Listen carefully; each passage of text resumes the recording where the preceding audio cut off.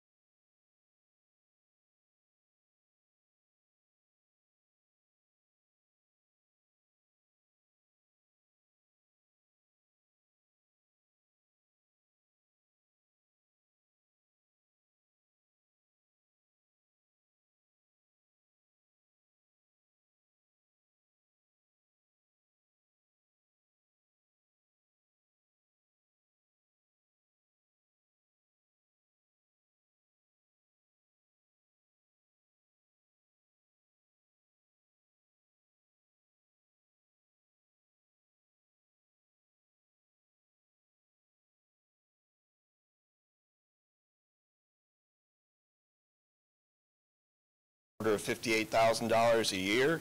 That's going to pump about $470 million into the regional economy in terms of wages and earnings.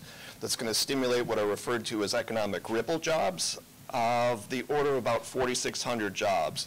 So once we start to add all those up, that's about 20,000 jobs itself associated with the facility, its suppliers, and the recirculation of the earnings in the regional economy. To put that number into context, that's 10% of our employment base. associated with just one facility. We approximately have about 200,000 jobs in our Savannah metropolitan area, so adding 20,000 to that is, is certainly altering and changing the nature of the, the economic fabric in the region in a very meaningful way. The 14,000 roughly, direct and indirect, the manufacturing facility and the supplier jobs, if those are added into the manufacturing category, which most likely they will, this is the most stunning figure to me. It's a 75% increase in the manufacturing base in our regional economy. Just associated with one facility, a 75% increase in the manufacturing base in our regional economy. We know that manufacturing jobs pay well above average in terms of the uh, salaries in the metropolitan area. The $5,800, $105 annual wage of the earners of the facility at the Hyundai plant, that's 25% higher than the service sector wage in the Savannah MSA, and it's also 11% higher than the average private sector job in the metropolitan statistical area. So this is certainly going to have a significant influence on the nature of the uh, economic structure of our regional economy. The fiscal impacts associated with the operation of the facility itself, so just the eight- 8,100 jobs on site. For the four counties, the Joint Development Authority here, that is going to result in a net present value increase of about $114 million over a 20-year period uh, uh, horizon of analysis. So that does include the cost of providing public services, including first responders, police, EMT, cost of providing government services, anything that you can think of, water, sewer, utilities, uh, cost of local government. That includes that in that present uh, value fis- fiscal impact analysis. It also includes the cost of providing public school education to the children who would be associated with uh, the workers at the facility itself and it includes the, uh, an analysis of the locally provided incentives for the facility, um, including property tax abatement and the upfront subsidies. I mentioned the, the, the $470 million in wages and earnings every year at full development at 8,100 workers. That alone is going to generate approximately $226 million worth of taxable retail sales.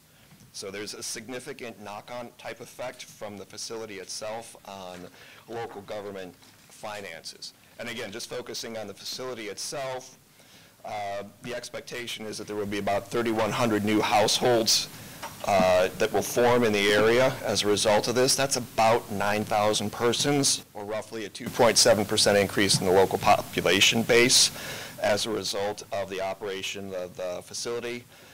Um, and it's interesting if you think about where these, these folks are going to live, they have a wide variety of options to select from in terms of distance to the facility that is, reason, that is a reasonable commute. Everything from the urban core in Savannah, if a person is interested in living there, that opportunity is there. That's about a 30-minute drive. If folks are interested in uh, a suburban type uh, living, there are many uh, areas in West Chatham and Bryan County uh, that would support that, that are within 20 to 25 minutes of the facility itself. If folks are interested in a university town, the city of Statesboro and the associated college university amenities would be associated with a large-scale university. That's only about 40 minutes away. And uh, they're in uh, the rural area, uh, in, the, in the immediate vicinity of the facility. There are around the order of 10 to 15 small towns. If a, if a person would like to live in a small town, there are at least a dozen to 15 of those within, within 30 to 35 minute commute of the facility itself. And uh, to put things into perspective, the average commute in Georgia is about 30 minutes, and in our metro area, it varies from about 20, uh, 28 minutes to 32 minutes, depending on the county. So these is a, this is a very reasonable range within which uh, these opportunities for growth and development would occur in a wide variety of residential type communities in the area surrounding the facility. Um, to wrap things up a little bit, uh, I, would I would offer that this is going to substantially, the facility itself, which of course is incentivized, is going to substantially and meaningfully alter the economic fabric of this regional economy. It's going to create and enhance economic opportunity throughout the region, and not just for the workers who are employed at the facility or its suppliers, because you think about what would happen to kind of, again, sort of think about it as a, as a knock-on effect. As individuals who already have jobs in the region are recruited to work at this facility, it's going to create opportunities for growth, development, promotion, and advancement at their current employers. So it's not just the economic activity, the jobs, the facility, and the suppliers. As folks may be recruited into working for that, for those companies, it creates upward mobility for individuals who already have jobs here. So these career opportunities through promotion and development will be uh, widespread throughout the region. Uh, think about the small business opportunities that are going to be present to serve the workers at the suppliers, the plant itself, the suppliers, the uh, add-on jobs from, so, uh, from the recirculation of the $470 million of wages earned every year. There's going to be a wide variety of opportunities, again, across all the types of residential development, whether it's urban core in Savannah, uh, suburban development, small town development, university town development. Their opportunities for small businesses are going to be widespread. Um, to use a phrase that you may have heard of, this is going to lift all boats legitimately for our Savannah metro area. It's going to significantly, meaningfully, and in uh, positive ways alter the economic fabric of the region. If I might just offer one bit of suggestion, humbly offered, if there might be a way to encourage our local municipal governments to accelerate their planning process to account for population growth, that would be a good thing, and also to carefully consider the issue of affordable housing in the context of the population growth that we are expected to see uh, associated with development of the plant and operation of it. So that will close my comments. Thank you, Mr. Chairman. I'll turn the mic back to you. Any, any questions from the committee on this? Um, And we, we, I, I will say in, in my district, we've got the, uh, SK battery plant in Bartow County coming, 3,500 new employees, so we're, we're gonna be looking at similar good problems and bad problems with that. And, uh, I think the good's gonna weigh, by far outweigh the bad, but it is challenging to, when you talk about housing and, and, um, workforce and all that is going to be a challenge up there as well. Any, any questions? obviously very thorough. You, you, thanks for getting us kicked off, uh, Dr. Tillman. uh, Appreciate you being here and appreciate the information you delivered. Mr. Chairman, I got a question, if you don't mind, Chairman Blackmon. Oh, I'm sorry, I didn't know. We had a question. Yes. Uh, Dr. Toma, thank you so much. I'm Blake Tillery. I'm from Vidalia, so not too far away from you. So some of the things you said, I've got questions just to follow up to get some context. You mentioned 20,000 jobs. Is there any other industry that you know of? Can you give us an example of another plant in our area, or I- heck, it might be a military base for all I know, that would, has created that type of job growth in an area so we can just have some type of context? We are very fortunate in, in Savannah to have a manufacturing facility and research and development facility that you may be aware of, this Gulfstream Enterprises. Uh, That's comparable. It's larger in magnitude in terms of direct employment at the facility itself, so that's the scale of operation that we're referring to. Um, It's similar, somewhat slightly smaller than the Gulfstream operation, so that's a very significant impact on our regional economy as well. And the one other question I had was, you mentioned uh, if you could offer one small piece of advice to us was about municipal planning. Have you seen in your research, or what, even anecdotally, um, a community that seems to be ahead of that, doing that better, that we could look to, um, that you might point us to say, hey, look here, this, these, these guys did it right, that we can maybe replicate and point others towards? I wish I could offer that uh, guidance. I'm not well-versed in that literature, but that certainly sounds like a very useful and practical research agenda to pursue, to see what are the best practices for communities that have uh, faced these sort of issues. We may look to the, to the north and west at the Kia plant, for example. Um, But those sorts of developments uh, and the communities in those areas have faced or will face similar challenges. There are a large number of uh, mega-scale type investments in electric vehicle and battery plant uh, facilities across the country on the order of easily 50 to 75 billion dollars within the last, say, five years or so. So there should be a wide enough, say, sample of communities that could be uh, reviewed and considered to see exactly how they address that issue. And again, with the idea of identifying best practices so that we can learn from others' uh, experiences, both, as you say, good and, good and bad. Uh, How do we get there from here? Thank you. I may follow up with you later on and see what you got on that. Appreciate it. Representative Buckner? Thank you, Mr. Chairman. Great presentation and wonderful development. I'm, I have two quick questions, hopefully. One is, do you have any suggestions of how communities can address, or what they need to help address the affordable housing? If- And then the other one is, what were the incentives that you think were the, the best incentives to lure Hyundai here so that um, we'll know for other future developments? These are starting to uh, address issues that are really outside of my area of expertise, so I, I think I, I may prefer to defer in general on that in terms of which specific incentives matter the most to firms. I know there's an academic literature on that that I am not well versed in, um, so I, I, I could not point to a specific item on the list and say it was this one. I would offer that collectively, these all matter to firms when they're evaluating different uh, locations for growth and development and the establishment of new facilities. There's a significant amount of competition among states and municipalities for uh, these types of operations. And my casual observation um, is that in the state of Georgia, these are, these are projects that are pursued rationally and thoughtfully. And my sense is that there's not um, uh, the desire to give away the store just to attract a few thousand jobs. I think there's a very rational, careful, and planning approach that is associated with the uh, recruitment and incentivizing of projects in the state of Georgia. Uh, With respect to planning for growth and development, I'm going to have to offer that one over to the, the planning specialists. I'm an economist, so, you know, I know there's a lot of complication, nuts and bolts and wheels to be turned and gears perhaps to grind a little bit uh, in terms of, of laying out a planning process that may take several years uh, when you think about, all right, we're going to we're going to identify this parcel for residential, commercial, or industrial development. It may take two or three years, for example, for a house to be plotted on residential, on a new, excuse me, on a new uh, uh, identified parcel for residential development.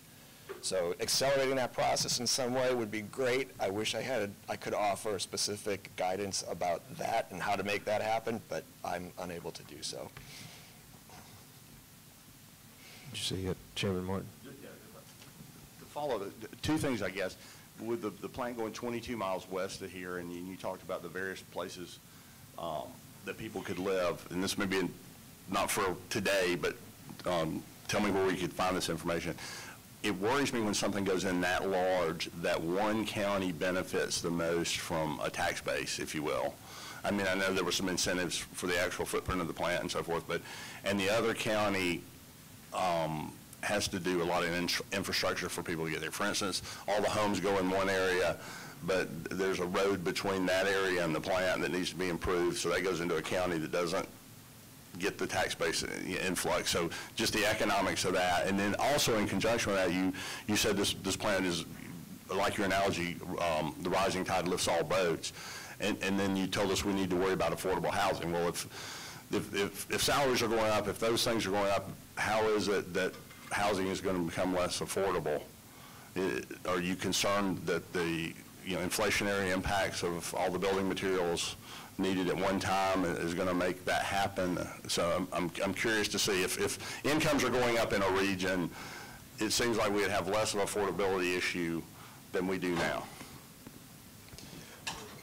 With, re- with regard to your, to your second question about affordable housing, um, I would offer that in combination with the planning process and the, the free market, there should be opportunities to develop uh, affordable housing in the region. One of the more significant costs associated with, with residential development is land costs. Land costs would be lower in uh, uh, the more rural areas, uh, in the surrounding area of, uh, around the plant itself within 35 to 40 minutes. So there are opportunities I would offer that there, there may be lower-cost residential land available for development that would contribute to this idea of affordable housing in the region. So I, I, I tend to um, philosophically believe that the free market has the ability to, to allocate resources in an efficient manner, but I think in combination with a question planning is, do you- process. You believe that that will happen, that it it's not, gonna- it's not going to take government, that was the question, thank. I believe that, that the planning process could augment that free market process, right? So that, you know. It- Just uh, maybe, I don't know if anybody else has any questions, but just, uh, uh, you have any other thoughts overall? I know we're focused kind of on some of the economic development tools here, and we'll be looking at other things as we, you know, go across the state, but overall tax policy in Georgia, uh, didn't know if you had any, any other observations that you might want to share with us? Dr. Toma? Again, I'll defer that to the, the uh, public finance specialists. I'm a, I'm an urban and sort of regional generalist economist, so things get very much into the weeds on tax policy. Uh, But to, to echo what Mr. Tallison said, uh, you don't get to be number one in the country in terms of business climate for nine years in a row without doing something right. So uh, in that sense, as he says, if, if it ain't broke, don't fix it. We got to tweak things around the edges as things are required, but fundamentally, Georgia's well-positioned and has performed and outperformed its peers in the southeast over the last decade or so. Fair enough, thank you. Uh, quick question. I might have missed it. I came in a little late. I was trying to park in the wrong place. But, uh, the, uh, job tax credit seems to be a good economic incentive. Is there any certain criteria to get that job tax credit or any particular industry? I have to defer on the, the, the fine analysis of the details of the tax credits. That's not an area of specialization. I'm sorry. I guess I'll get, I started, I'll get the final one. Here, help me out with this math, I just don't under, understand. I, I get twenty thousand jobs expected at the facility. You said we thought two point seven percent growth or ninety-one hundred new people in the area. I'm guessing the makeup then would come from people in this area already here moving up a level of jobs, but what then happens, do you expect then that the lower level jobs mechanize or go away? Or help me understand that delta between the 9,100 new people, but the 20,000 jobs. The 90, the 9,100 uh, new people approximately in terms of population change would be associated specifically with the plant itself, the 8,100 jobs there at the facility. So some of the workers at that facility will be recruited out of the local area. Uh, It is, is as likely that a majority of those individuals at the plant will migrate to this area from somewhere else, um, most likely from within the state of Georgia. But there's some, there will be some in-migration from out of the state. Um, I'm not sure if I'm answering the question. Could you re- remind me? And it could be just you have a lot better grasp of it than I do when I'm asking. But I'm getting the deltas. If you got 9,100 people moving in, we got 20,000 new jobs. I get it that in the area, we'll move some people up to a higher job that'll be at this facility. They'll make more money, as you spoke about, the rising tide raising the ships. What do you expect happens then to their, their lower level jobs? Do you expect those get filled? Do they go away? Do they mechanize? Um, because I'm trying to figure out how I get a delta with 20,000 new jobs, but only 9,100 people to fill them.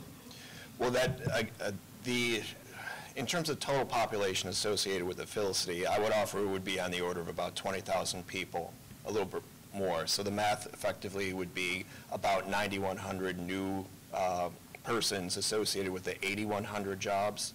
And so the additional uh, knock-on type jobs, the, the supply chain jobs, the jobs that are created as a result of recirculate, recirculating income, those also would stimulate in-migration and population growth uh, along with, so it- it's, it's, the, the 9,100 is associated more specifically with the 8,100 jobs at the plant.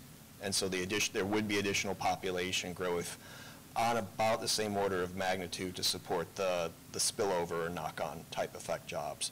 To the extent that they would be mechanized, I think we'll see sufficient in-migration to fill the jobs that we need. in addition to the efforts that are being, the carefully thought-out efforts, I would offer, that are being developed to establish a pipeline of talent for the facility itself associated with the, the institutions of higher education in the area, the, the technical colleges and, and things of that sort. So there is an effort to supply that plant with the labor that it needs uh, locally, as well as uh, what we can expect in terms of in-migration. All right, we certainly appreciate, sorry, I'm turned up here. We, we appreciate your presentation and the information, and uh, look forward to growth in this area for sure. Thank you. Thanks a lot. Pleasure. Um, If Georgia Ports is next, if you want to make your way up, and um, this has certainly been a a shining star for the state, from the mega rail system to the uh, inland ports. I know we've got one up in northwest Georgia. Uh, Have some brilliant logistics people apparently, because we seem to be out servicing the other ports and sort of the envy of the country. And one other thing I'll add, unless the numbers have changed, my area of northwest Georgia, while it's the furthest from Savannah, does the most business with the port, and um, it's, it's great for the whole state. That's elected leadership at, at work right there. House members in that area do a great job. Uh, uh, Exceptional, along with the Senate. Uh, So my name is Jamie McCurry, for those that I don't know. Um, I'm the Chief Administrative Officer at GPA, and I was told that Dr. Toma was going to wow you with a bunch of PowerPoints with some, you know, dazzle and whatnot, and I'd have like five minutes to just say something. So here we are. Good job, Dr. Toma. Um, You know, I think that most of you have probably been inundated over time with the, the story of the port and who we are and how we work, et cetera, but maybe not so much how we specifically work on economic development projects. So I thought I'd take a little bit of time to explain that and then answer any questions you might have. But, so for, for GPA, uh, you know, effectively, we are a state-owned business. Uh, We're operationally self-sufficient. We, you know, generate revenues to cover all the expenses of the operation and our CapEx. Our customer that pays the bills is the steamship line. Uh, But we have our, our sales department is basically divided into three groups. We have uh, carrier sales, who really are the ones that are working directly with the, the bill payers, if you will. Then we have a group that's focused on what we call BCO sales, or beneficial cargo owner sales. So they're working with the importers and the exporters, uh, you know, growing their business, attracting new business, et cetera. Sometimes that involves uh, a new economic development project. Uh, Sometimes it's just uh, matriculating growth uh, for, from existing customers. And then the third leg of that stool is the economic development uh, department itself. So we have a director of industrial and economic development whose job it is really to partner with the development authorities around the state, certainly to partner with the Department of Economic Development and Commissioner Wilson's team, and, uh, you know, work in parallel on those projects. It's not uh, our job necessarily to land economic development projects, but it is our mission to help create jobs and, you know, foster trade for the state of Georgia.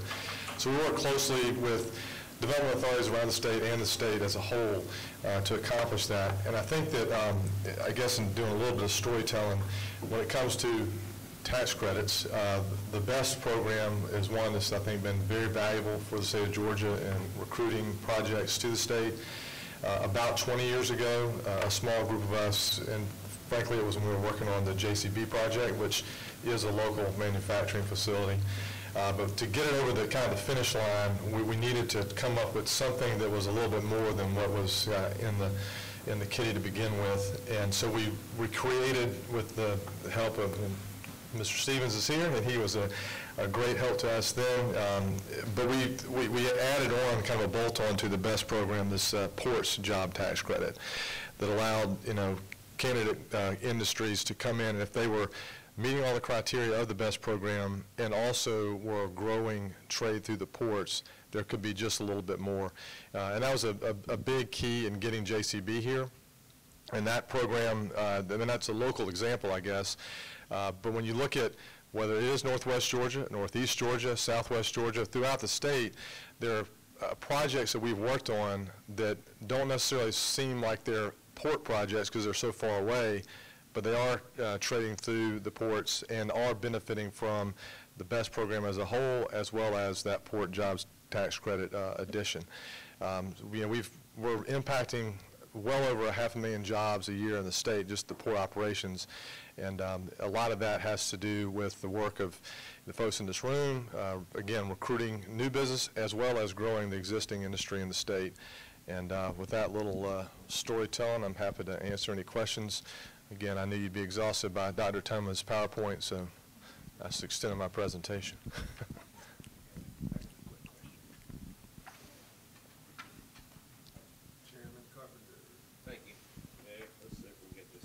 pretty loud. That's better.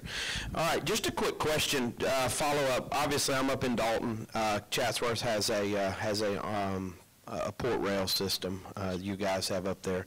Um, And my question to you is, do you see that, I guess the feeling I have about it is that there's a lot of one-way traffic headed up to, up there, and is there a, is there a remedy in the future to kind of help alleviate just, because I know dead legs are tough in your industry, and so the question is, what is, uh, what is the capability us- of us producing stuff that, up in the northwest corner, that will actually leave the country and, and, and be more beneficial for the port itself? Sure. So I, I think, and I'm, I'm going to overly generalize and say it's about a 70-30 uh, ratio, I, I believe, import to export going through that facility. And you're right, the, the more balanced, uh, and this on import-export at the terminal on the ships is on import-export if it's uh, coming and going from one of the rail facilities. Anytime you got balance, it's opportunity to, to be more profitable. I think in, when you look at what works in terms of a, as a rail destination, it's distance and volume to kind of get you to the math. Uh, you, you've got anchor industry up there. Uh, certainly the flooring industry is, is huge. They're great customers of ours, and it is a, a strong export industry. Uh, continuing to grow manufacturing in any area is going to create um, export opportunity. Not, not that all manufacturing is export, a lot of it is certainly domestic. Um, But just looking at, at more opportunities to develop manufacturing in an area is going to help with the export. Of course, Georgia's largest export, largest industry period is agriculture.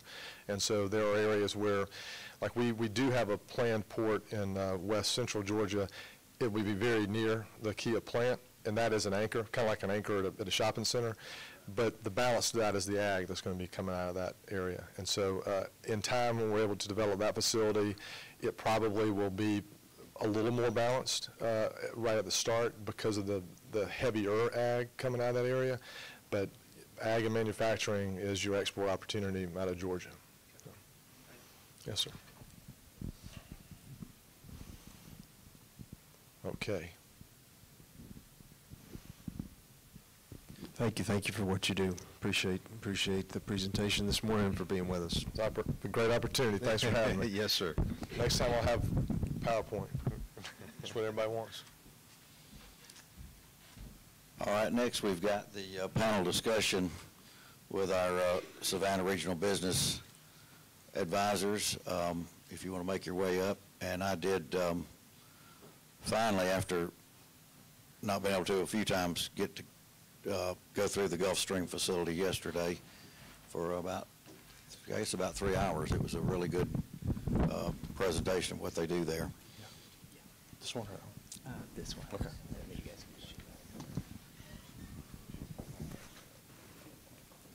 You hold that, yeah. Where you want to sit?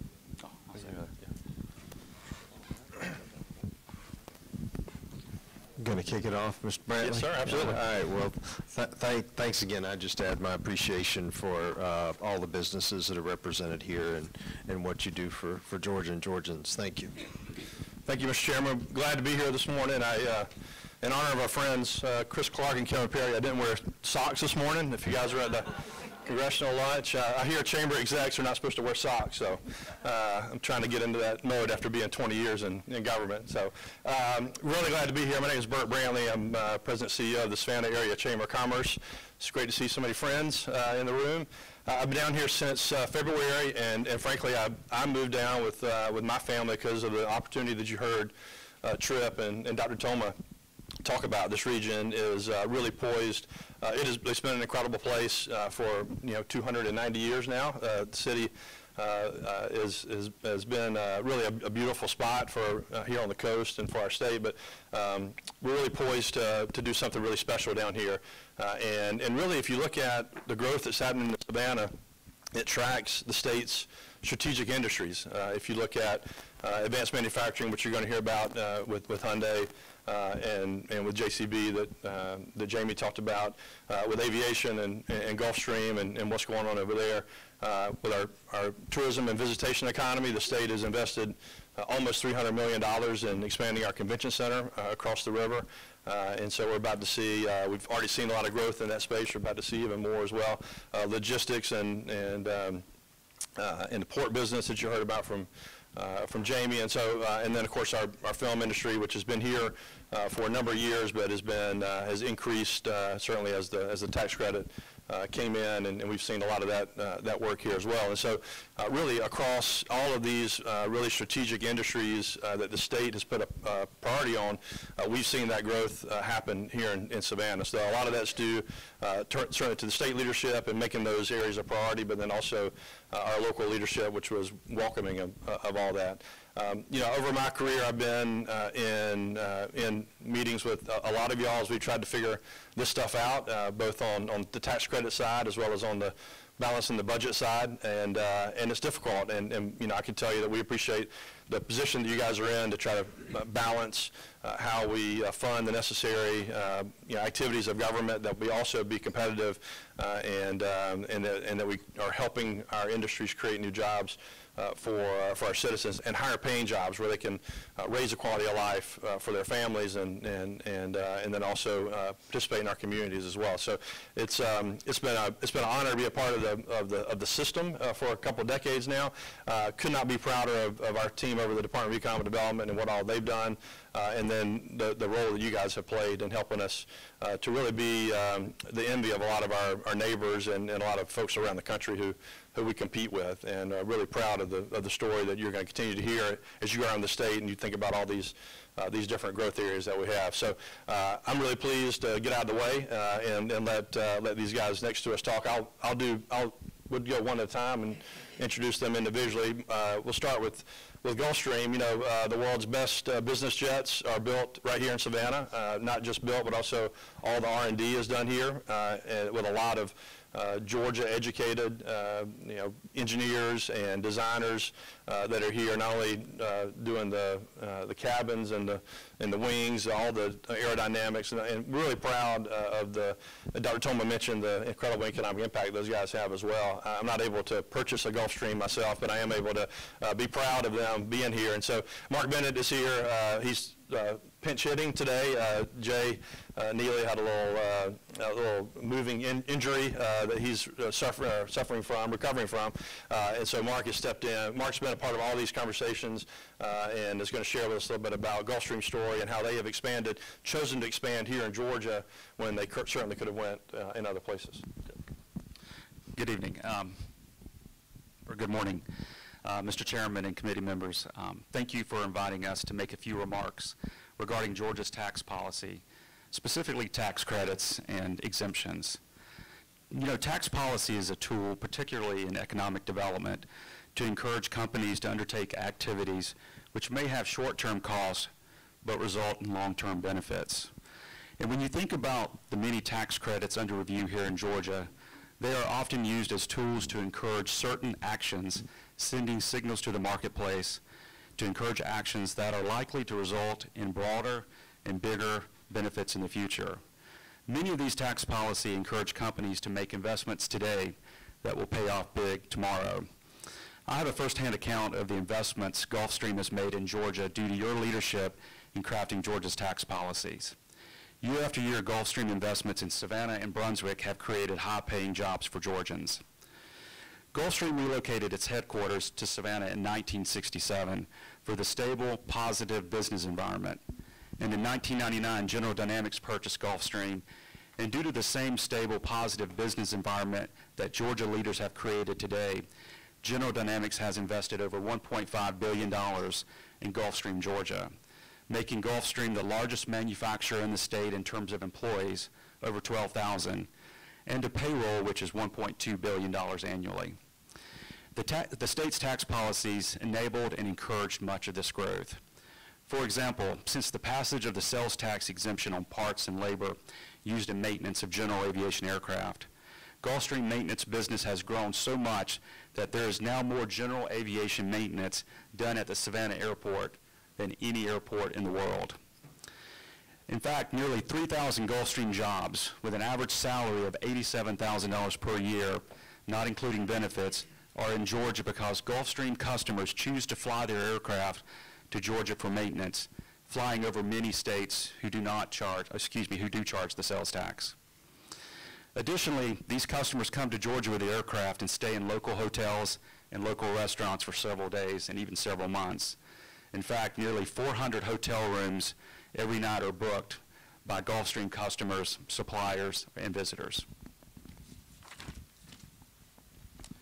Similarly, the R&D tax credit drives research and development that requires highly technical and highly paid professional aerospace.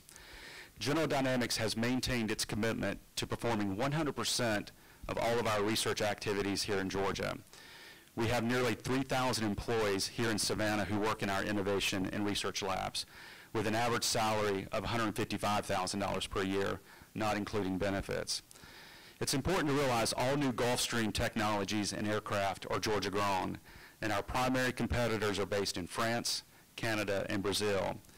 New innovation is a competitive advantage for Gulfstream as we compete against these foreign-based manufacturers. Our competitive environment requires Gulfstream to continually invest in research and innovation. And we are investing in research and new technologies to manufacture aircraft that are bigger, can fly faster and further and safer, more efficiently, with less, noise pollution, and higher quality than our competitors. It's also important to know that we invest the tax credits back into the business and the state. Gulfstream investments in support of R&D in Georgia extends beyond its gates and into the local community.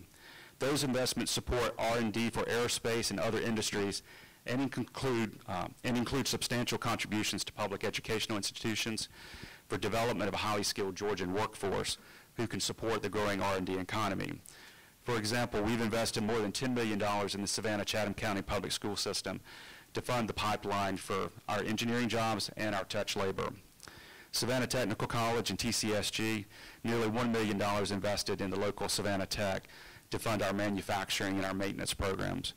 And Georgia universities, Georgia Southern, Georgia Southern University College of Engineering and UGA College of Engineering more than $3 million. In fact, Gulfstream hires more engineers from Georgia Southern than any other employer in the state. As Gulfstream celebrates its 56th year in Georgia, it supports the state's continued focus on tax policies like the, like the tax exemption on maintenance and R&D credit. Both encourage high-quality jobs in Georgia and an expanding economy state. Mr. Chairman, committee members, appreciate your time today and your unwavering leadership in continuing to support Georgia being a great place to do business. Thanks, Mark. Chairman, do you want to wait till after we get through for questions? Uh, I do want to point out, Mark uh, grew up in Blackshear, Georgia, and he is uh, not the most famous Bennett from Blackshear. Uh, our, uh, evidently, there are multiple Bennett clans in Blackshear that he's, uh, he can't claim to be related to our two-time national champion quarterback. Um, very pleased to uh, introduce Chris Smith uh, next. Chris is the general counsel uh, over at Hyundai, has moved into our community from Montgomery. I've got to know Chris over the, the past few months. really, really pleased uh, to have somebody over there that, uh, that answers their phone, uh, which Chris does. Uh, and uh, I know he's getting sick mostly of Trip, not, not as much with me. Uh, but, um, but Chris has really been a great addition to our community, has really been our connection point to our local leaders and is there whenever, whenever our folks call. And so after a, a, long career in Montgomery, he's moved his family over here, and we're really pleased to have Chris here. Chris is going to share a little bit more about the, the Hyundai development. Great. Yeah, thank you so much, and thanks for having me. Um, yeah, um, so a little bit, I, I, I, think the real value that I can share with this panel is the story of how Hyundai chose the Bryan County site. I can kind of walk you through that, and then of course the big part of that's going to be economic incentives. So a little background on me, I came from Montgomery. Um, I worked uh, for Hyundai in Montgomery for 17 years, serving as general counsel there.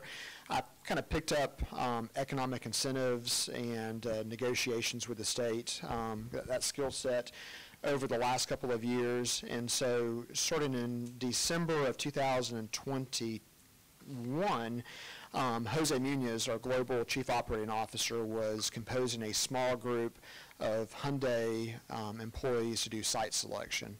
Um, because of my background with economic incentives, he asked me to join that team. And uh, started in January, we started the process of looking at different sites throughout the United States. I think it's very, very important to note that Hyundai, being the third largest car manufacturer in the world, is making decisions on not only what countries to make or to place its plants, but also where in those countries. And so once Jose was given the green light to look in the United States, our team quickly got to work. Um, in January, our team visited um, numerous sites, uh, precisely 13 sites in seven states in just a couple days. One of those sites was the Bryan County site. Um, from there, in February, our top management and the engineering team visited several of the sites. At that point, we're starting to down select the different sites and, um, and kind of cross sites off our list. I will note it's, it's highly, highly competitive. Um, I would kind of describe it as a very intense competition. Um, um, and with that, uh, we got down from 13 sites. I think we got down to, uh, at that point, five sites. And then in March, we um, then downgraded or uh, deselected down to four sites.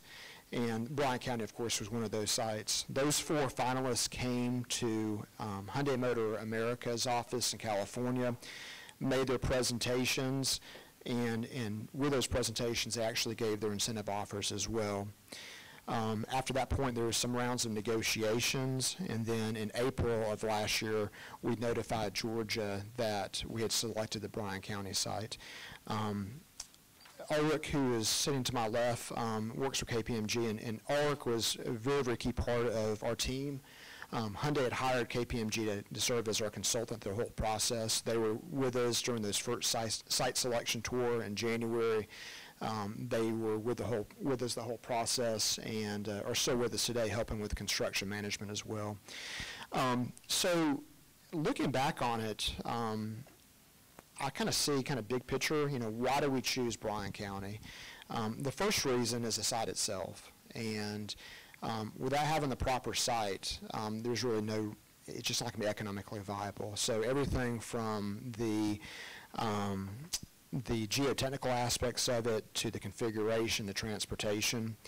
Um, likewise, the, uh, you, you, want something very, very visible. So there's four miles of Interstate 16 visibility. That's really important to our brand.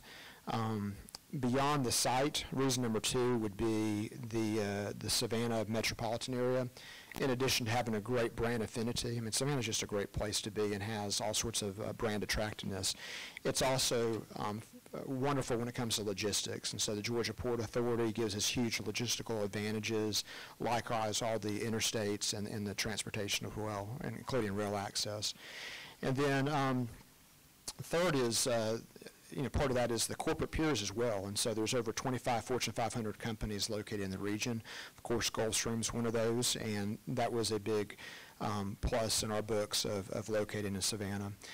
The third reason is the Georgia and local officials. And I was just telling Ulrich before this, this, um, this, uh, this panel started that I think during the process, looking back in January, that's probably one of the areas I underestimated is how important it is to have a great team. Um, the Georgia and the JDA have been absolutely fantastic and fantastic partners, and um, that goes beyond money um, nearly all the time. And so finding solutions when we have problems, being there and being supportive, and so you know, it's really, really a fantastic, fantastic group of people. The fourth reason, the reason why we're here today is economic incentives. And economic incentives are absolutely critical um, for Hyundai's decision, and I think probably most companies' decisions on where to locate. Um, going back to January of last year when we were looking at what sites to visit, KPMG put together kind of a list of, I don't know, 20, 25 or so sites. And of course, each of those sites were based on a number of factors, including what the economic incentives would probably look like, among other factors. And then as we kind of progressed through the process, going back to April of last year during the final presentations, um, again, economic incentives came up. And um, said it best. Uh, we had a, an interview with German Public Radio um, last week, and he said basically incentives you know, uh, everything else gets you on the one-yard line on, on a football field, incentives get you across the goal line. I would probably say it gets you on the 10-yard line, and then incentives helps you kind of punch it into the end zone. So it's certainly very, very important, and um, with that, you know, it's, uh, I know companies really crave predictability and consistency and knowing what we're getting on the front end because we're running different business models determine how profitable a facility is going to be, um, or if you, even if it's economically viable. And so having that consistency, consistency and predictability is really, really key. Um, so with that, um, again, I hope that's kind of helpful to understand, kind of you know, pull the curtain back, curtain back a little bit and be very, very transparent with you guys of how, how we located um, and found Bryan County and, and chose Bryan County. And uh, I'm happy to answer any questions, but uh, I guess I'll turn over to Ulrich first. Thanks, Chris. I want to uh, just quickly pull out one of the points that Chris made there. I've heard uh, economic development uh, projects described as uh, as dating, and you're trying to look for the right match and, and the right mate. And I think Chris's point about that down selection process is really important. It's really more like being on The Bachelor, especially when it's an OEM, because you've got this, you know, shiny uh, stud, uh, or The Bachelorette, I guess. I don't watch those shows, but you, I, get, I hope you get my point. Uh, but you got this one, you know, uh, uh, company that everybody's trying to, to, to woo, uh, and there's a lot of factors that go into that, right? And, and so we got to get on the radar, obviously, to make that very first cut. But then it's really not about picking you, it's about not picking all the, all the rest, right? And so uh, every, every one of those uh, steps in the process, uh, we, we, we felt uh, the team felt great uh, at, at every point because we had a previous relationship uh, with uh, the sister company in, in, in Kia and, and, and knew uh, Chairman Chung and a lot of the team and, and, and, and Ulrich too that I'll, I'll introduce in a second. But, um, but really at each one of those stages, you know, you can get, you can get cut. And once that happened, you know, you get in the limo and you drive off and you don't get to play anymore. And so uh, we were uh, we were really fortunate to, to stay uh, through the end and uh, and really find a, a great partner that uh, that's going to be here well past the the five years that the job tax credits uh, you know when they when they are used up and they expire and well past uh, all of those uh, those incentives incentives are gone. These guys are still going to be here making the, the, we're making the best planes uh, in the world here. We're also going to be making uh, the best vehicles. Uh, if you guys have been, uh, particularly in a, in a Genesis EV that is beating Tesla on all of the rankings and the, you know, the ratings that are coming out, it's uh, really a really special and, and unique vehicle. And so really proud to have them uh, in our region. So uh, the third uh, member of our panel today is, is Ulrich Schmidt from J- KPMG. Ulrich has, has become a really good friend uh, to Georgia. I- You know, when I was at economic development in the mid-2000s, about a quarter of the projects that we worked had site selection consultants, and, and that is completely flipped now. We, you know, we see about three-fourths of the projects that we have uh, that are uh, companies that are hiring uh, a, a an- a partner uh, to evaluate the sites and the geotechnical and the incentives and all the different, the workforce and all the different pieces uh, that go into that. We, uh, we keep Ulrich busy. Uh, He's here a lot. He's actually uh, been here uh, on some site visits the last couple of days, not here, but in in Georgia. And um, that piece is something that we have really focused in on, developing relationships with the site selection consultants, making sure they know what sites we have, what our, what our tax credit programs are, what our workforce looks like, what our educational system, what our system, all those things that go into an analysis. And uh, really pleased to have uh, Ulrich here. And, and, you know, Ulrich's got this, this uh, perspective that he doesn't just work in Georgia. You know, he works all over, all over the place uh, and uh, is going to help us uh, understand a little bit about that, that process and, and, and how we, um, and how we measure up. So thanks for being Thank here. you. My name is Ulrich Schmidt. I'm a principal with KPMG's uh, Location Analysis Site Selection Practice. Uh, I've been with KPMG for 24 years. Uh, I'm based in Philadelphia. Uh, First of all, I'd like to thank the state of Georgia for sending the entire Georgia Bulldogs defensive line to the Philadelphia Eagles. We'll see if it works out this year. It's going to be important. Thanks for inviting me. Uh, I'd like to offer some comments and some perspective around the overall process uh, on site selection. So I'm what you would call a site selector, so if you've never seen one, they could look like me. Uh, Our work involves advising clients really in selecting locations for major investments. We work through a wide spectrum of industries. Uh, The background on the site selection process is usually it starts with figuring out a targeted geography.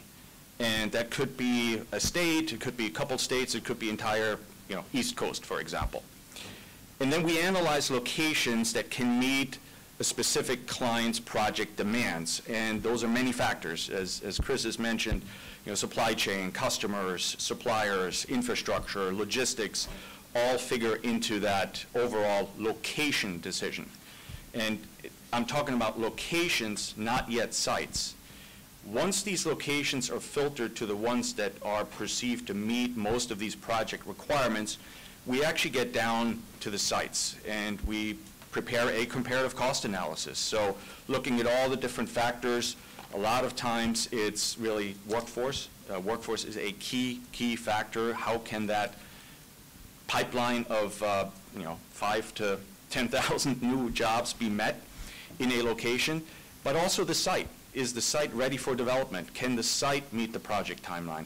Projects are moving very fast these days, especially in the uh, advanced manufacturing, automotive uh, industry. Projects are moving uh, at lightning speed and need sites that are essentially shovel-ready. So you need to have a site to compete. And that already takes some investment up front by the state and the community to make these sites really marketable. Uh, Oftentimes, that's your first incentive, to have a marketable site that has the infrastructure, the utilities, the road connections that can actually meet these aggressive timelines. The process then ends with the comparative cost analysis, so we look at all factors from labor cost, utility cost, one-time cost of, you know, acquiring a site, uh, you know, construction cost, to the tax environment. It's a recurring cost for companies to have, you know, pay taxes and various taxes. Uh, And then incentives are essentially the offset to what that bottom line might look like. At that stage, you're looking typically at two to three sites that are competing.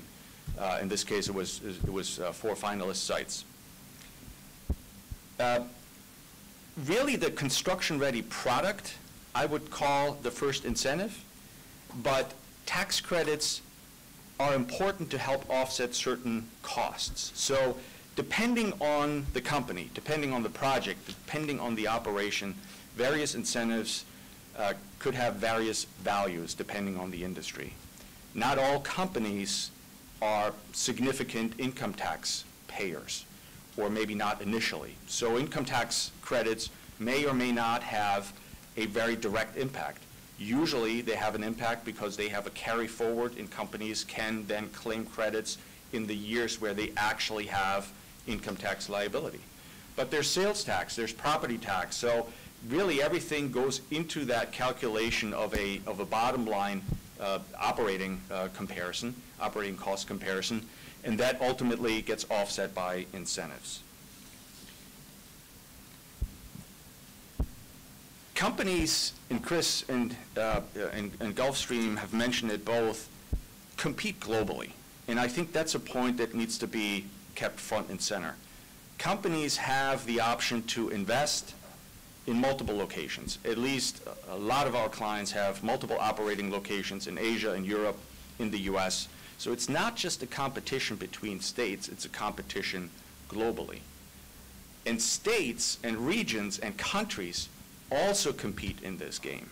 So you're not only competing with South Carolina or Alabama, you're competing with Mexico, Canada, Asia, Europe, and as we sit here, the European Union is developing some very aggressive incentives to attract the chip industry.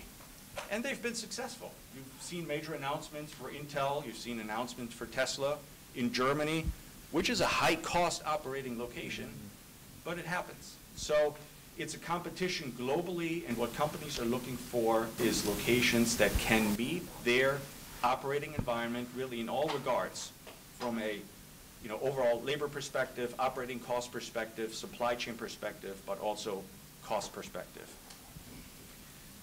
When you look at individual programs, and I know that's somebody that's on everybody's mind, like I said, it depends on the industry, the company, the type of project. Uh, But typically, these incentives are a temporary savings. Companies need to do something to earn these incentives. So states build in safeguards. So do the, the Georgia incentive programs have safeguards built in that you need to do something first before you even earn the incentives. And if you don't do something, there are clawbacks. So there are actually mechanisms, if companies don't perform, that money can be clawed back. That is a good thing. Uh, So everybody's held accountable to their end of the bargain, and most states have these types of programs.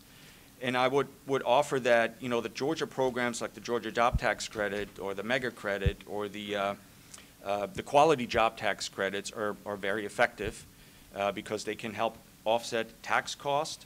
In the case of the Mega Credit, they can provide direct cash rebates to companies based on their withholding taxes that are being paid. But you need to meet certain requirements to qualify. So this is not just a free giveaway. You need to have certain salary levels, you need to have a certain size of a project to qualify for the mega credit, to even be in the discussion. And, uh, and that is, a, again, it's a good thing to have these types of requirements around some of the programs to make sure they really have the right effect and, and, and the right um, outcome. Now, looking at uh, Georgia's program, or programs like the withholding tax credit, for example, which is, is uh, very effective, Georgia's not the only state that has this program. So does Alabama, so does North Carolina, so does South Carolina. So, you know, programs are interesting at the front of this process where it's almost a marketing tool to get into the conversation. But in the end, they're really effective because they get evaluated to help offset costs, and it is truly a comparison of one location versus another. Not always is the case that the cheapest location wins. Like we said, multiple factors play a role here, but incentives can be the final, final kicker that, that brings a project to fruition. So with that, I'll answer any Yeah. questions. Thanks, Laurie. Back to you. All right, we, we appreciate all the, the presentations, and um, we know this, this area is booming, and George is doing a great job in that. Um, You know, you talk about all the incentives, and you mentioned North Carolina, South Carolina, and Georgia. Of course, Florida and Tennessee have higher sales tax, but don't have an income tax, so you're not going to need an income tax credit there. So tell me the thought process on, on that, if you could. Yeah, I think states have done a good job to adjust um, their programs and their tools to their specific environment. If states have low income tax, for example, they're typically looking to offset other taxes.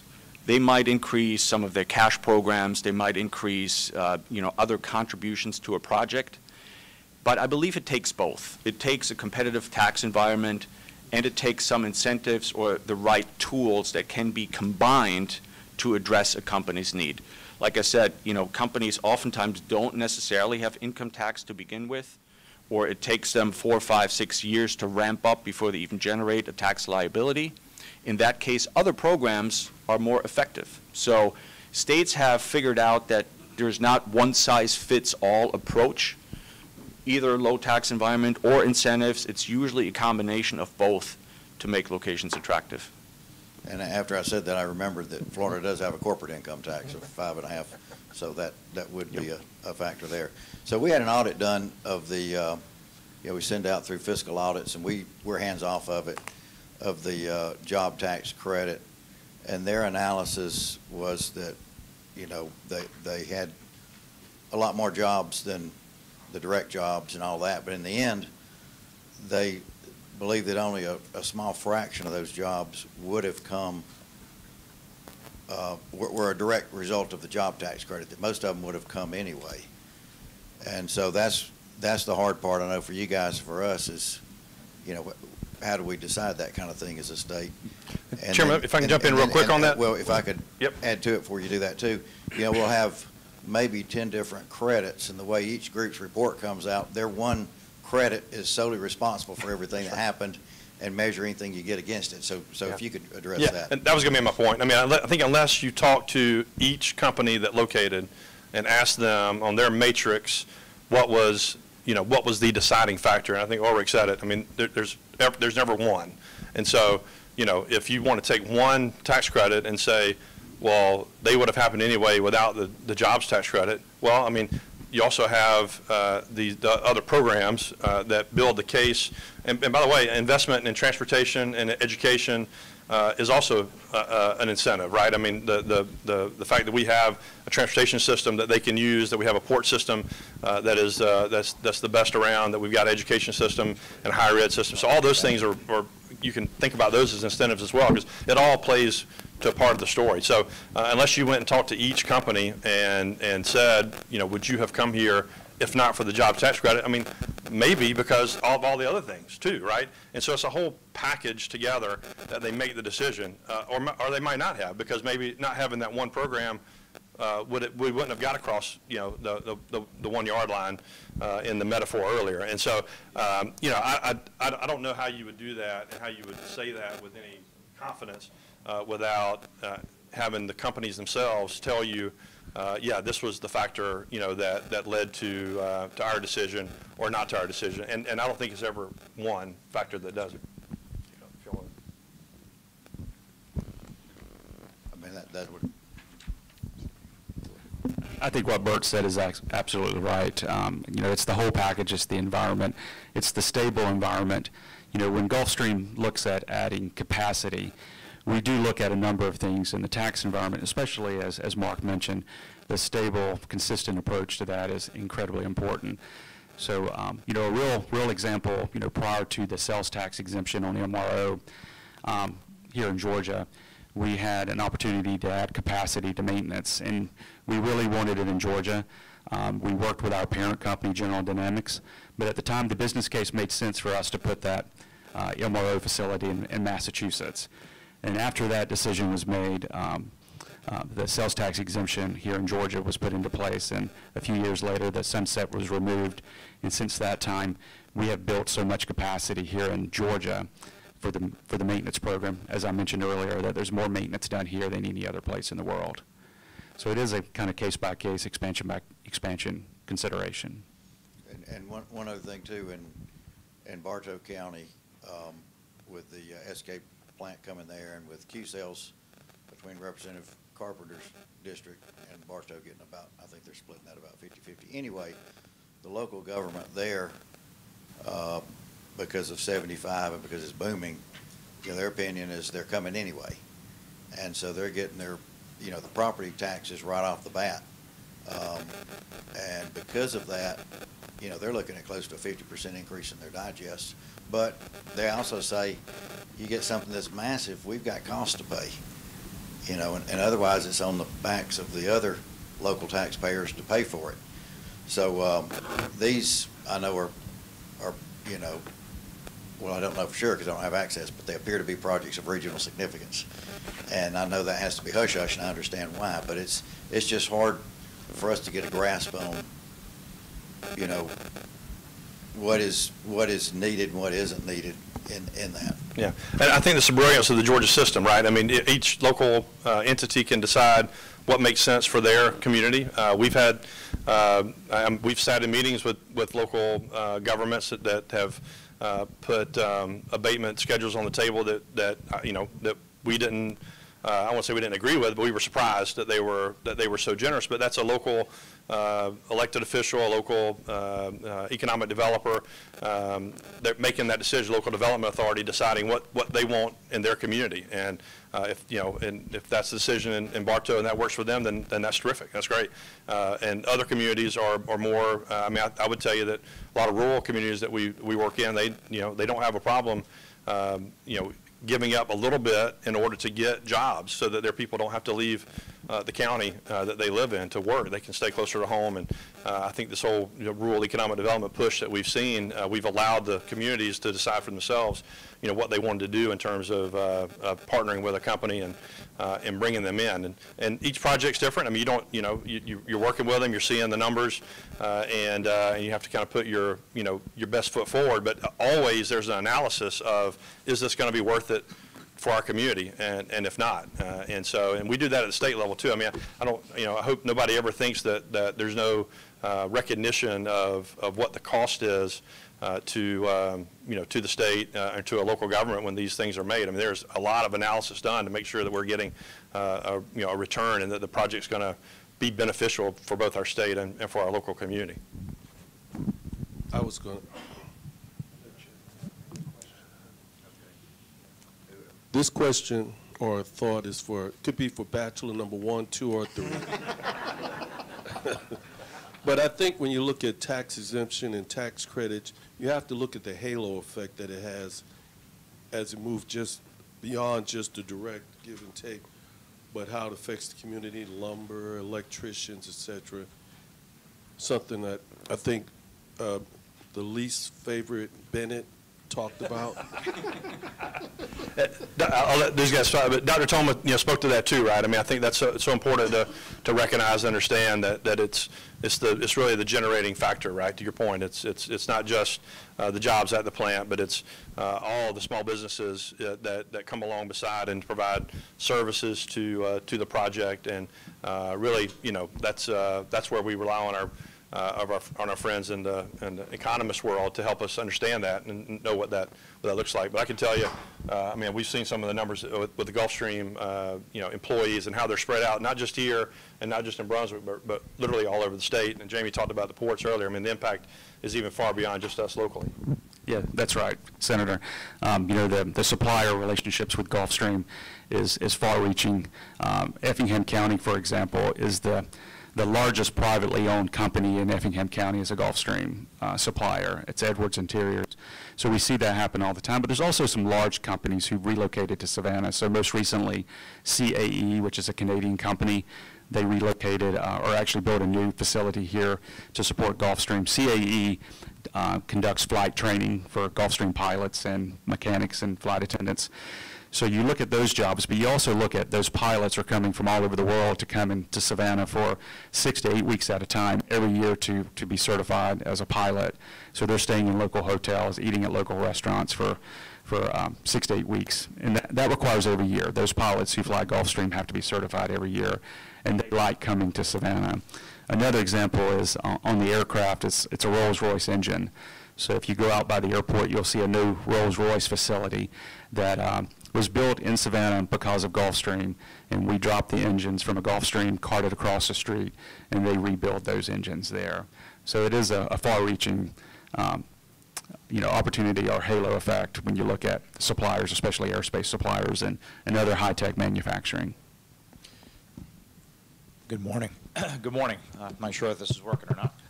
Uh, Thank you for the panel. Very, very informative. Uh, I think what we've talked about in the past is it's kind of an art and a science when you're measuring this, right? It's not simple just to put the numbers together with the halo effect. Um, I do, though, want to give a quick prop to our Department of Audits. Uh, they do include a halo effect when they do these reports. So whether it be the folks uh, on the committee or in the audience today, uh, they, they have taken time to put that in there. Thank you. Yeah, I- th- this is just a, a- a statement sort of in the form of question, that seems to be the way we're going this morning. I, I, I get it, if somebody gives you more to come, you know, you're, you're gonna come there. What, what I think we, we see here, and, and what the businesses that have been around and been invested in Georgia for hundreds of years see, and I'm just gonna be honest, if it, I don't mean to dampen this, you know, but I wanna be honest about it, is Hyundai came here for those incentives. Tell me how much it mattered to them that three and four were coming online at, in, uh, down in Augusta, tho- those, those two nuclear plants. And, and you weren't going to build in Texas where they have an unregulated electric market and it gets really hot in the summer and really cold in the winter and you have in So I, I just, I, looking at that, we're focused on tax credits here, but I mean, I, I think Georgia has a lot more to offer when you're lining it up, if, if it comes down, you're just picking us because we're, we're spending more money there, then we're not getting credit for the people that have, have built the state, you know, for the last 200 years, and the investments that Georgia Power's made and and our ratepayers have made in doing that.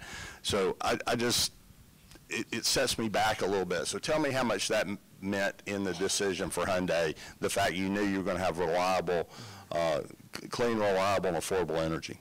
Yeah, sure. That, that's a great question. Um, so, as I mentioned earlier, there was a number of factors why we chose Georgia. Economic incentives was kind of one of the four that I mentioned. And, and to be perfectly honest with you, Georgia did not offer the best incentives. Now, they were within the ballpark, but they weren't the best incentives. And so Hyundai did not go chasing after the dollar, so to speak, in its decision on where to locate. Utility was a major component as well you know, utility cost. Um, I know, I recall KPMG doing an analysis of how much energy cost and uh, you know, with our facility, obviously, we're going to be uh, Georgia Power's uh, probably one of their bigger customers. And so, but absolutely, you're, you're exactly correct. I think energy, um, reliability as well, that was also another factor we looked at. So, yes, sir, you're exactly correct on that. Fine. I just wanted, to thank you for doing that. That, that's the, the offensive line driving you down to the ten-yard line with our businesses that have been here. So I, I just wanted to acknowledge that fact that it's not all about, uh, credits. A- Absolutely, and, and I'll add in there too, uh, you know, Georgia Power's been a fantastic partner through this project. They were, you know, ahead of schedule. Um, they've been fantastic to work with on the construction side and, and, uh, been a, been a fantastic partner. Hang on to that microphone. Uh, so I, I've got a question because I, I- I feel like I've done just a hair bit of research, but I'm not fully educated on the process. But I seem to recall that Georgia was not the low-cost provider of incentives in this deal. That, that Tennessee, we, we left, they, they were actually came in much, much more aggressive than we did, but we were still able to land the project because of the port and electrical concerns, et cetera. Is that correct? Can, can a poker player say, Yeah, yeah.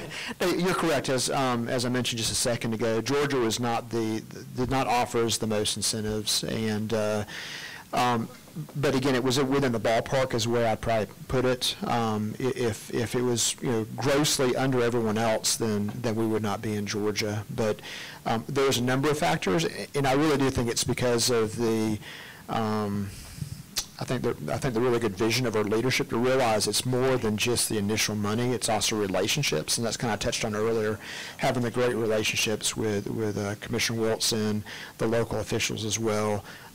I mentioned earlier the Savannah metropolitan area, um, likewise the site itself, and so, um, but, but again, I think it's incentives kind of, kind of, using the football analogy, kind of helps you kind of punch it into the end zone. Sure, but I think as legislators, that's what we want to hear, right? We want to hear that Georgia's competitive, but we also don't want to feel like we're the person that has to take them out to the nicest restaurant to get her to go out with us, right? Every now and then, we want to be able to pull through Chick-fil-A drive-through and, and, and make her happy. Uh, and then I, I've got a, I've got a que, that's great. Uh, I've got a question for, uh, Mr. Gulfstream. Uh, you know, there's, there's a lot of conversation on the R and D tax credit. Um, I, I'm obviously a big fan of it because I think that it invests into the future and, and you can't monetize that R and D investment on what it's going to do for your business, your, your existing businesses. And so I see it as a, as an incentive for our existing businesses to grow. And I would just like for you to talk a little bit more about, um, how Gulfstream looks at an investment in R and D today, and how do you extrapolate that? Is it a five-year window, 10-year window? How do your models work on that? Yes, sir, thank you. Um, The, the, the innovation of Gulfstream is, is what sells aircraft, so it's a continuous investment in R and D facilities. Um, It takes about 10 years from the time uh, an engineer first kind of draws out a product until a customer receives the first aircraft. So it's a pretty time-consuming process. Uh, It's a reoccurring process. We have three aircraft currently in some phase of R and D. So if you, if you keep up with aerospace, you probably have read about the G700 is, we- we're hoping to get certification from the FAA this year and start delivering that aircraft to customers. One right behind that is the G800. Uh, We'll be coming behind that, and then a couple years now is the G400. And those are the products that we have announced publicly. Um, Those of you who've toured Gulfstream, you- you've noticed the black curtains that I don't talk about kind of what we have announced uh, is behind that curtain. It's a very competitive industry. Uh, As I mentioned earlier, our competitors are the Brazilians, the Canadians, and the French.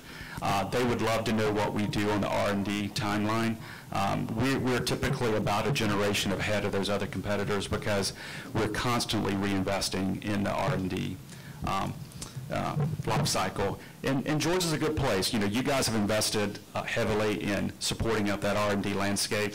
I mentioned the Georgia Southern University College of Engineering, a great school. They're producing great Georgia graduates who grew up in Georgia. They want to stay in Georgia.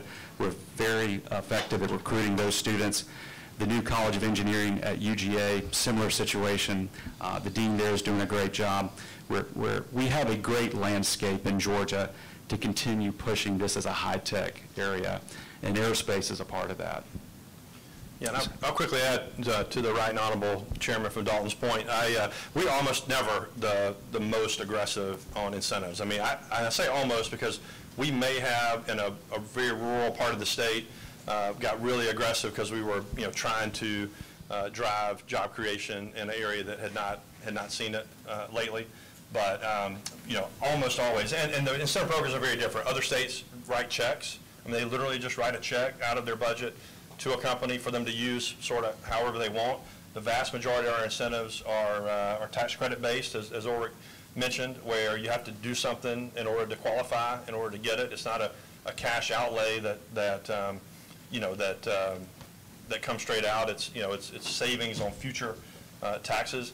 And, and when you see those numbers that are, that get reported uh, in the media about what the, the, the incentive package is, you- always have to remember that's a, a maximum they could qualify for, right? I mean, a lot of times, uh, companies uh, are, are not able to fully qualify for every piece of the, of the package. And that's up to them to analyze and see what's actually, you know, uh, attainable for them. But what our role is to give them sort of, here's all the things that you could do.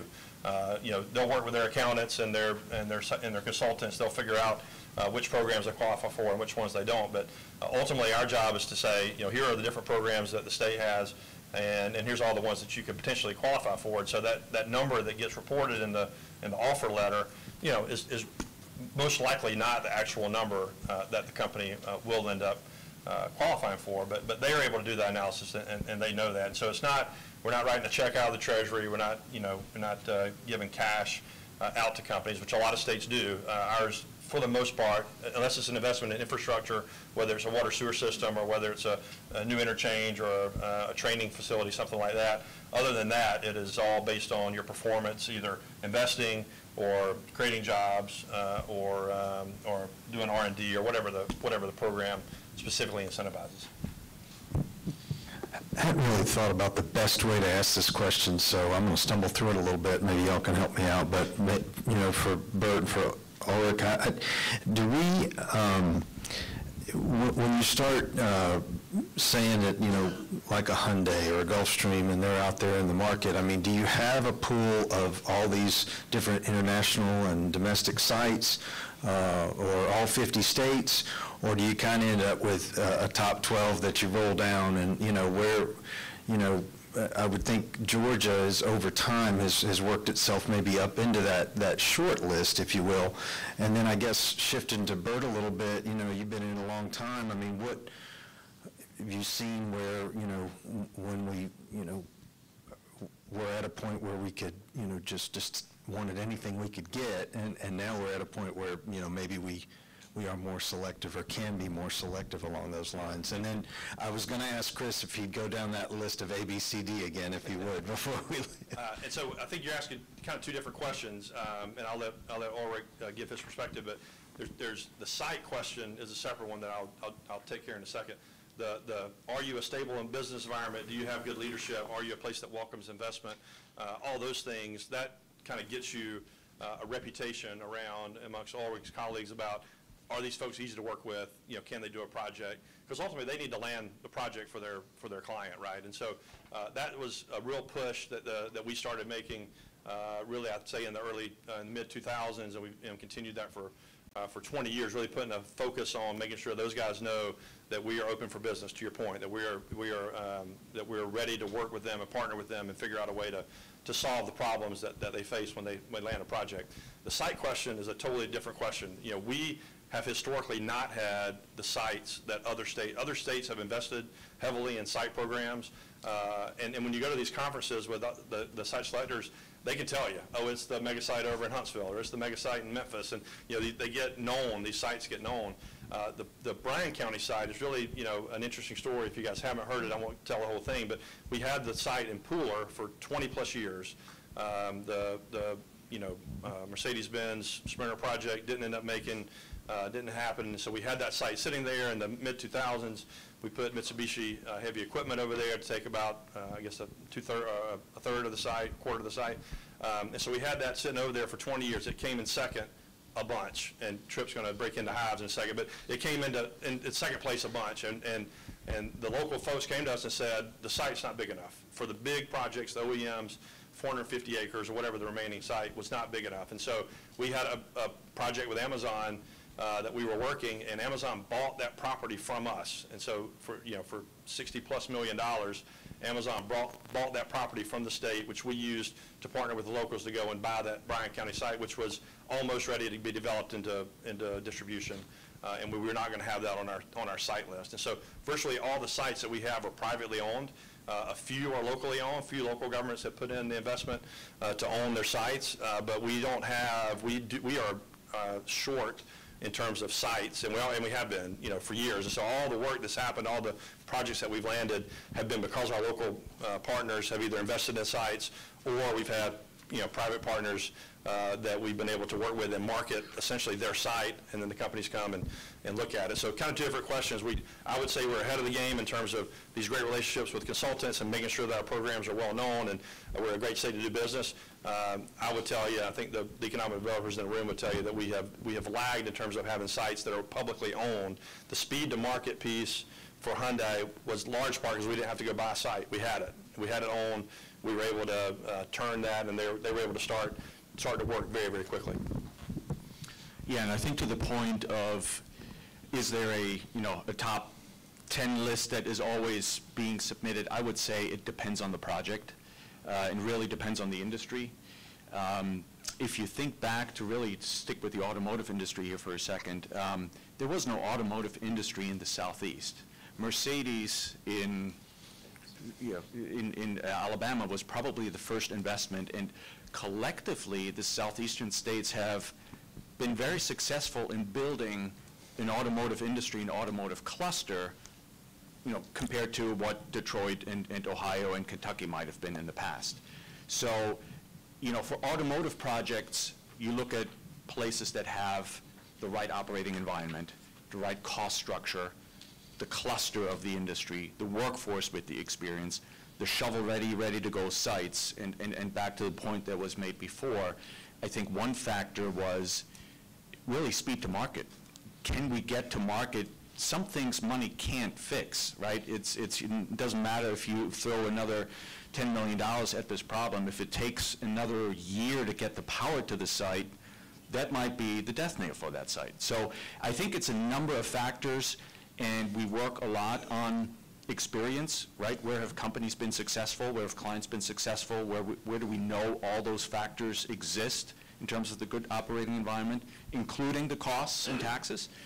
And that's the starting point. And that might be a list of, of eight, 10, 12 states that then quickly gets filtered down to the ones that get in-person site visits, where everything is really checked on the ground to make sure that, you know, everything is really the way the data shows. All right, well, that's, I think you wanted Chris to run through the, the four. I think he's done it twice. I was, I guess, I was going to ask him to do it one more time, so if it's redundant, I apologize, but yeah. I- Can I just add something real quick? Because I will kind of um, reinforce what Ulrich said. We, we were looking, one of our top four finalists, the major knock on the site, and the reason, one of the major reasons we didn't choose it was it was not ready for another year or so. And speed to market was a- absolutely critical to our project. And so we just had to pass it over. That was kind of the, the death knell for that project, so to speak. So, yeah, so site ready, shovel, shovel ready um, is, is really, really key. well, we're just a few minutes behind, but doing pretty good, so we, we appreciate you being here. I, I do want to add one thing. We were, in the Senate and the House, we have kickball games, we have rodeos we compete in.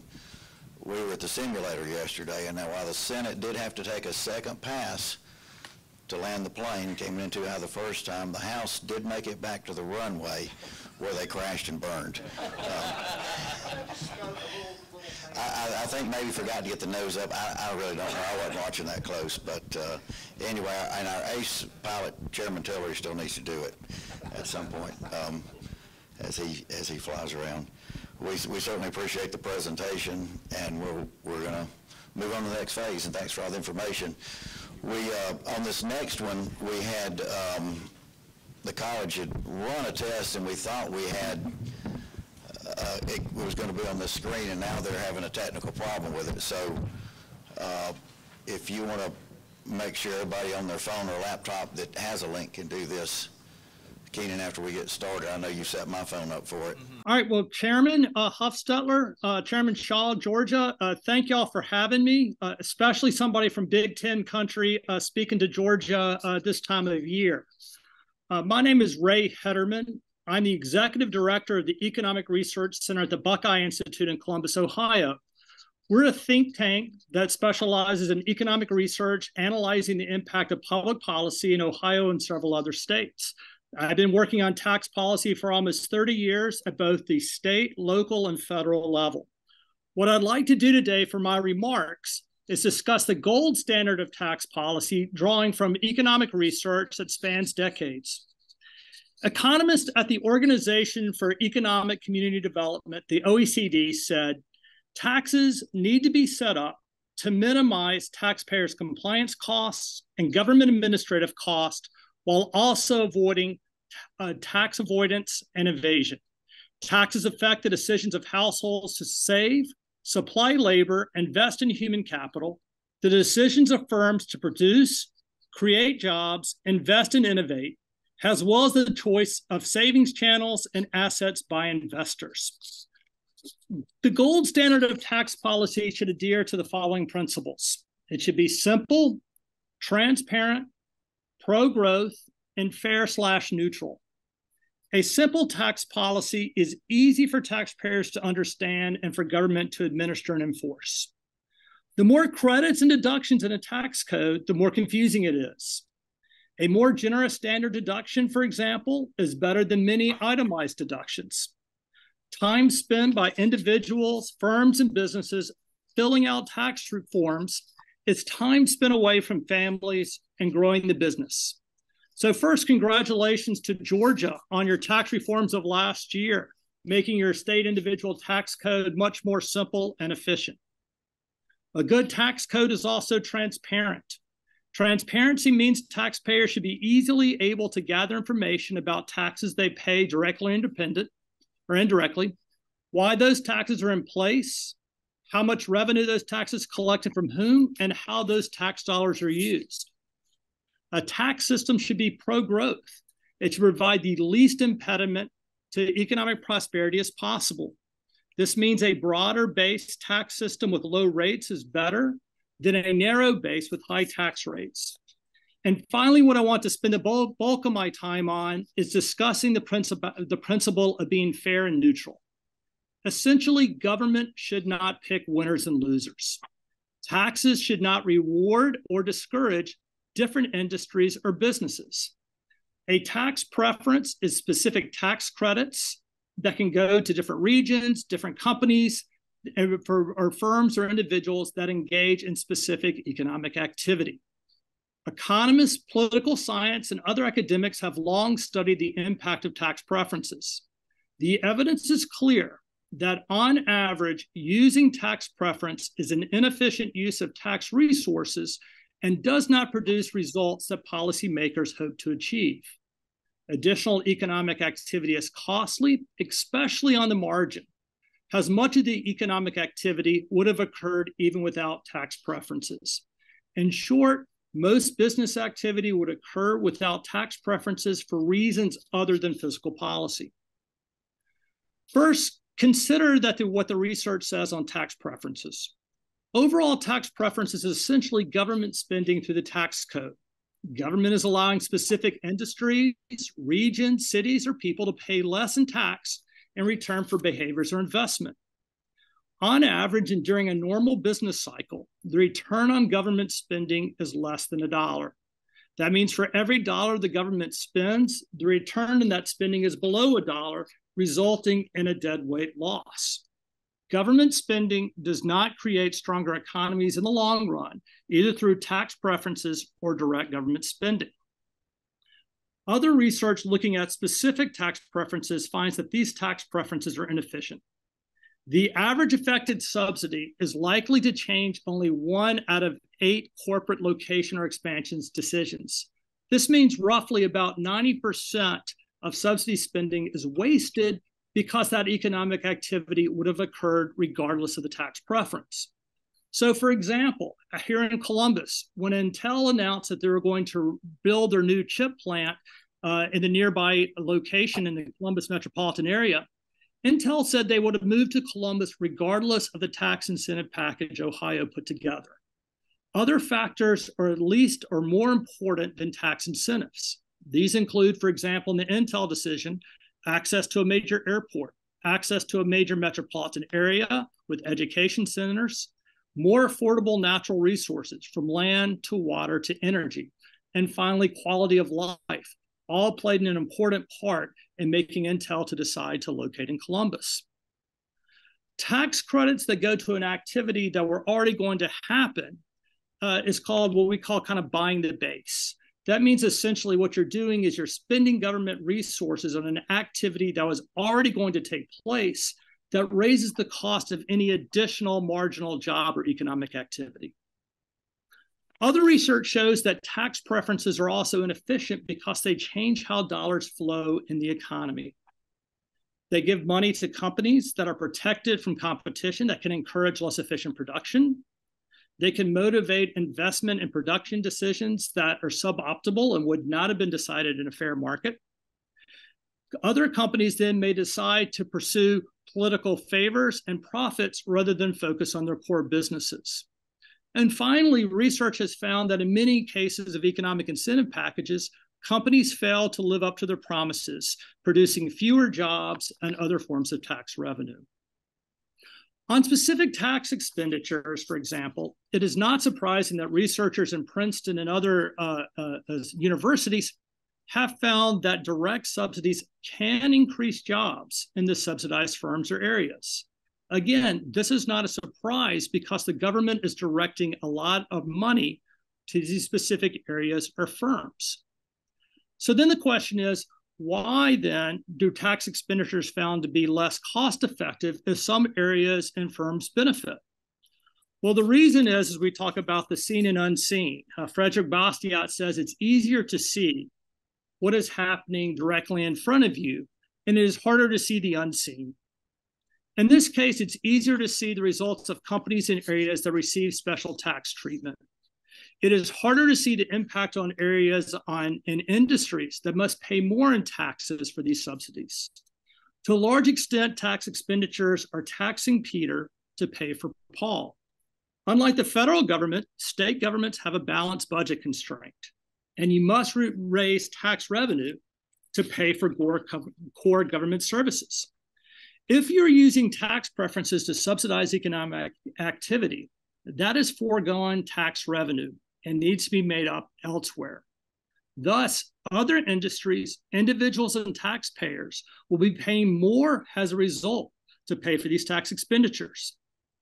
Too often, studies that evaluate the return on tax preferences only look at the benefit of lower taxes and government spending, and they do not look at the impact of higher taxes on other areas of businesses. So, again, for example, here in Columbus, we've had a lot of people moving to Intel, people touting about how good it is for the Columbus region, which is true, it has been good for Columbus. But what is good for Columbus does not necessarily mean it is good for the state of Ohio, as many of the people coming to seek jobs here have come from other parts of the state. That is less said essentially that Columbus is cannibalizing economic activity that might have occurred in less fortunate areas such as the Southeast Appalachian area or Northeast area uh, that has been hit hard by the change of manufacturing switching to a service and information economy. Those are cities like uh, Northeast Cleveland, Youngstown, Ohio, that has continually lost population. If you're going to look at uh, evidence on the return on tax preferences, a good economic analysis will not only look at the benefits, but also look at the costs. There is no magic money tree at the state level that can pay for these tax preferences and tax treatments without raising revenue or reducing spending in some other area. Other problems with state specific tax preferences is that sometimes advantages accrue to people and businesses living outside the state. Investors, business owners, and even some workers may benefit from a subsidized firm or area, but will not pay taxes to the state of Georgia, resulting in a higher deadweight loss. Research has found this is particularly true in areas where there's easy to move across state or county or even national lines. Tax preferences also tend to reward large businesses and existing firms compared to smaller firms and entrepreneurs. Essentially, larger businesses have more accountants, bigger staff, and more knowledge of how to take advantage of the policy process and the tax code compared to startup businesses and people with less expertise. So overall, lower tax rates is best for economic growth. Investments flow to what the market thinks that is best and has the best return on capital. New industries, particularly smaller businesses and entrepreneurs, will be allowed to flourish and thrive. The more tax preferences in place, the higher the tax rate is then needed to produce the needed amount of tax revenue. So this has created a vicious cycle in other states where it has higher overall state tax rates, then require higher tax preferences for business to pursue that economic activity. My analysis is that Georgia benefits from an overall low tax environment, so you don't have to worry about uh, that as much as other states that have a higher tax on capital and corporations. In those states, we have seen that businesses simply do not expand without significant tax abatements, and newer industries are throttled in the crib and will relocate to areas with lower taxes overall. So in my remarks, I have discussed basically, you know, what the literature has found on the overall average impact of, of studies on tax preferences. Yes, some tax preference projects can be successful and create some economic growth. Uh, just like in football, you know, sometimes a Hail Mary pass can result in a touchdown. But an offensive game plan that relies too much on Hail Marys is not going to be successful. Just like any economic development plan that relies on continued use of tax preferences is not going to create sustained prosperity. For economic development, using dollars for core government services such as better education and infrastructure is a better route than using tax preferences. Companies want educated workers. Being able to make sure that Georgia is producing talented workforce that meets the needs of modern companies will benefit all companies instead of a specific few. When engaging in tax preferences, finally, you need to make sure that there is good oversight and accountability. Some of the, my fellow panelists have remarked on the importance of clawbacks. It is important that the state of Georgia has make sure that you have real benchmarks with clawbacks that are enforced and good legislative oversight of tax preferences. This is to ensure that taxpayers are getting the best use of the dollars. Any economic analysis and academic analysis that looks at the benefit of tax preferences must be a real evaluation. It cannot simply look at the benefits, but also must look at the cost of this program. Again, these dollars are oftentimes zero sum, where tax dollars taking away from one area to give to a tax preference to another necessarily requires less economic activity in the industry or region that is now paying higher taxed. Dr. Timothy Bartik, who literally wrote the book on tax preferences at the state level, again concludes that overall tax preferences have failed to live up to their promises and expectations, and a dollar spent on tax preferences tends to generate less than $1 of economic opportunity. So again, thank you for this opportunity to speak to you, and I look forward to answering any questions. All right, hopefully you can, well, there may be some feedback. You want? So I uh, recommend turning off your microphone and we can get a 30 second delay where you can chat your question. Okay, what if you just turn that off for a minute? I don't get the feedback.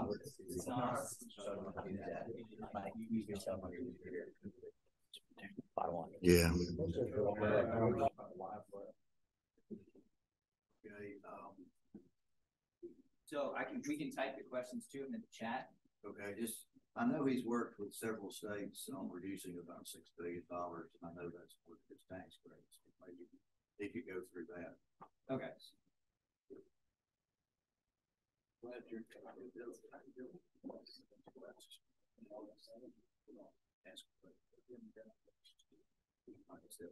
Yes, uh, Senator, you wanted to ask the question about, you know, how we've worked with other tax credits in other states.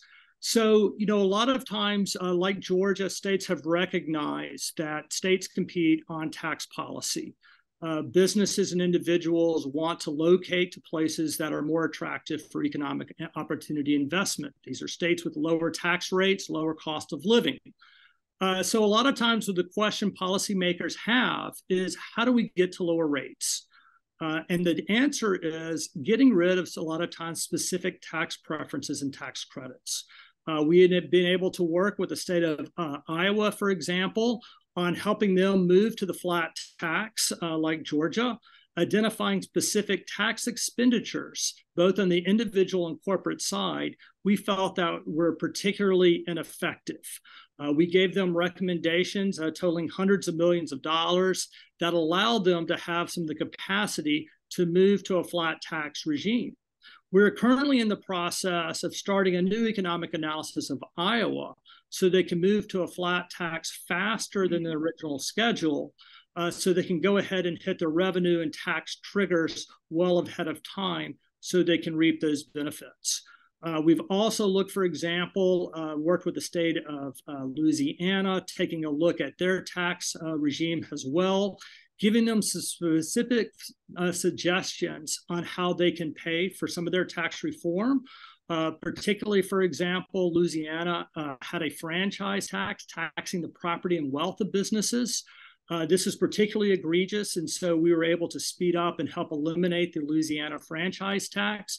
And again, we gave them specific uh, targeted tax credits uh, we found that were inefficient for the state of Louisiana. Um, so overall, uh, and not just in those states, uh, but in many others, uh, we've seen a great deal of acceleration where states moving towards a more broad base, low tax rate state, uh, for example, uh, paid for both by eliminating tax preferences and also states taking advantage of the fact that many states are running record budget surpluses. Um,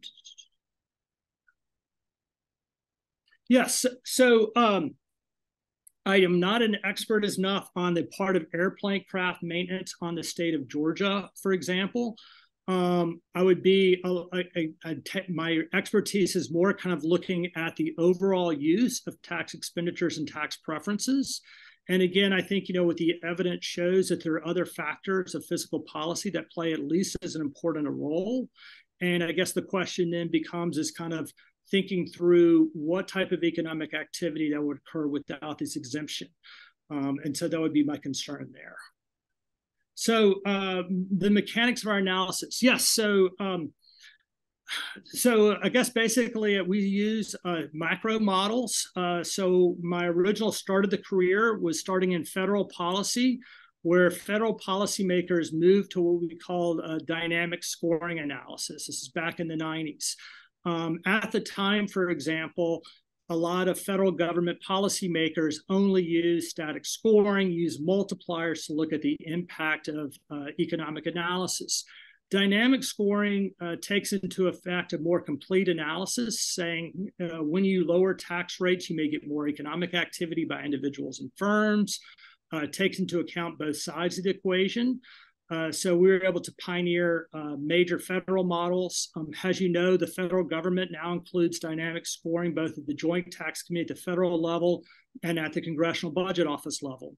We are now working on doing the same at the state level, where we have built a state model where we use industry-specific analysis. Uh, we use uh, we use basically every state using SIC code to replicate a state's economic profile. Um, and then we look at uh, tax data to build a taxpayer profile for those states, both based on both corporate and individual tax returns, uh, designating those into marginal tax brackets using adjusted gross income classifications. Uh, then we use uh, elasticities on labor and capital formation, uh, using those from the Congressional Budget Office um, uh, as well to predict future economic activity. Um, I have a question, say, uh, much like the Intel example, uh, would it benefit the state of Georgia to use business activities to go to non-metro areas? Uh, so, so, there is some evidence saying, you, know, kind of uh, thinking through like what is the least harm going uh, for some of these uh, tax business incentives. Um, there is some evidence that there can be some return to disadvantaged areas in particular, um, and that it, may be a better use of tax expenditures than giving it to major prosperous areas overall. Uh, all that said, um, the evidence there is not great in the first place. Um, think a bit like opportunity zones that have been used at both the federal and state level.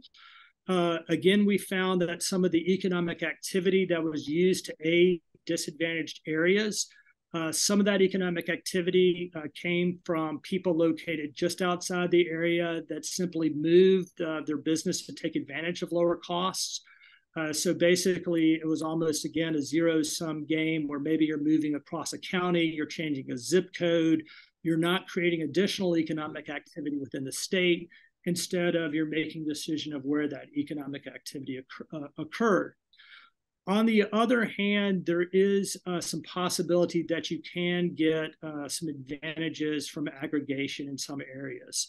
Uh, so, for example, uh, uh, uh, San Francisco, for a long time, even with a poor physical climate, high cost of living was still attractive to tech people to live there because you had so much tech expertise. And that shows, you know, that companies are often attracted to places where there's a high amount of human capital educated population. Uh, uh, as we're starting to see more recently, that, that there are limits there. Um, the other part of the question is anything uh, business incentives outside of the state. Um, I'm not quite sure I understand that, uh, Keenan. Other questions?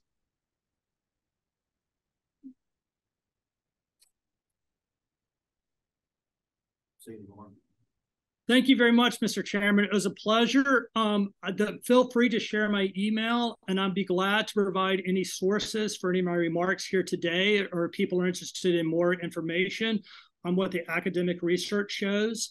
Uh, I'm happy to provide that to the chairman and the committee. Thank you all.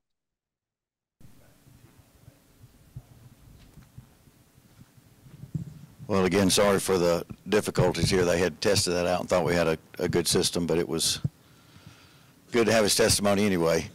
So I think we've got our last uh, panelist here. Um, yeah, great. If you want to go on up with uh, Stacy with the uh, Georgia Budget and Policy Institute. Um, Chairman, I, I won't take but just a minute, but we talked about last time that we are going to have a website and upload some of the materials from the first meeting and going to continue to do that and uh, I guess put forward where the future meetings are. But we also have an email established if somebody wants to send in testimony outside of these meetings. It's tax panel at. And uh, we'll work on making sure we get that out to anybody that it may want to use that. And I, I believe both this meeting as well as a recording of Dr. He- will be available on the Senate House webpage. All right. Great. Thank you, Mr. Chairman. Um, Thank y'all for the opportunity to speak today. I know we're on a little bit of time squeeze, so I'll fast forward. You do have a copy of our slides. I um, will not get through them all today, but you have them for your reference. Uh, my name is Stacy Fox. I'm the president and CEO at the Georgia Budget and Policy Institute. Um, I am a Georgia native. Uh, my parents built the house uh, right off Moody Road. Chairman Blackmon. so a hometown. And I may not have an SEC ring like our uh, Lieutenant Governor, but I do have a plaque in the Student Center uh, as a founding member of the uh, Arch Society at the University of Georgia. So I'm proud Georgia native and I'm very committed to what we do here. If you're unfamiliar with GBPI, we work really at the intersection of research and advocacy, really to inform debate, inform decision making, inform y'all's decision making. Uh, to advance our vision of a state where all Georgians prosper. And you likely know that we have a team of experts when it comes to the Georgia budget, state fiscal policy, and specific areas of state expenditure like education and health care. Um, we are a strong proponent of a fair and equitable tax system. Um, after all, uh, taxes are for everyone. They pay for things we all share. Um, and we'll have a lot to say, as you can imagine, this fall as you travel the state and do your work. Um, but we're really thankful to be here today and really want to focus on the work that needs to happen around the tax code in Georgia and amplify a little bit of um, Mr. Hederman's comments around transparency. But we look forward to sharing our analysis, research, and recommendations as our process goes through this fall. Um, I think really the, the bottom line that uh, we want to share today at GBPI is that we believe that Georgians deserve to know where their money is going. And we heard a lot today about a best state to do business in, um, and that's really important, but it's also important that our residents are thriving. Both need to be true, and they simply aren't right now. We have a for example, a million Georgia residents that are food insecure. So we want to make sure that both are true in the state. And part of that is making sure that we get a good ROI on our tax incentives and um, programs throughout the state. I do want to share, um, and I can fast forward to this slide, I think, to just give you a visual here. Um, unfortunately, this is not where we're uh, succeeding in Georgia. In fact, Georgia ranks 50th among the states as far as transparency uh, related to information and state disclosures on who gets and how we use our tax incentives and tax credits. And that's really what I want to focus on today. Y'all are familiar with um, Senate Bill 6 that passed in 2021 that allows for a limited review of um, 10 tax credits per year that can be split between the House and Senate committees. Um, but even those limited number of tax credit reviews have produced reports that say we don't have enough information to produce uh, a full evaluative process of those limited tax credits. So we need to be doing a little bit more there and wanted to talk about some recommendations around that today. Most states have provisions that require or incentivize hiring residents um, uh, over non-residents to qualify for tax credits. We don't have that in Georgia. Most states, in fact, 87% of states in this country cap large-scale incentive programs. Georgia does not. Um, most states permit disclosure of individual companies or projects receiving tax credits, but Georgia does not. And these, uh, what's happening around the country is part of what we use at GBPI to inform the recommendations I'm going to share with you today. And establishing really a robust regular review of the full tax credit system in Georgia is really your fiduciary responsibility. So that's why we wanted to provide you with some um, solutions to make that happen. We also, uh, this is uh, happening all around us as well, so just wanted to share with you that our neighboring states have adopted tax review cycles in which credits must be evaluated, all credits must be evaluated, including three years in our neighboring state of Georgia and four years in Tennessee and Alabama. South Carolina also recently just started um, disclosing company, company names and award values. Hey, can I add something quick? You said Georgia. Yeah. I think you meant another state. Did I? Oh, Tennessee and Alabama, maybe.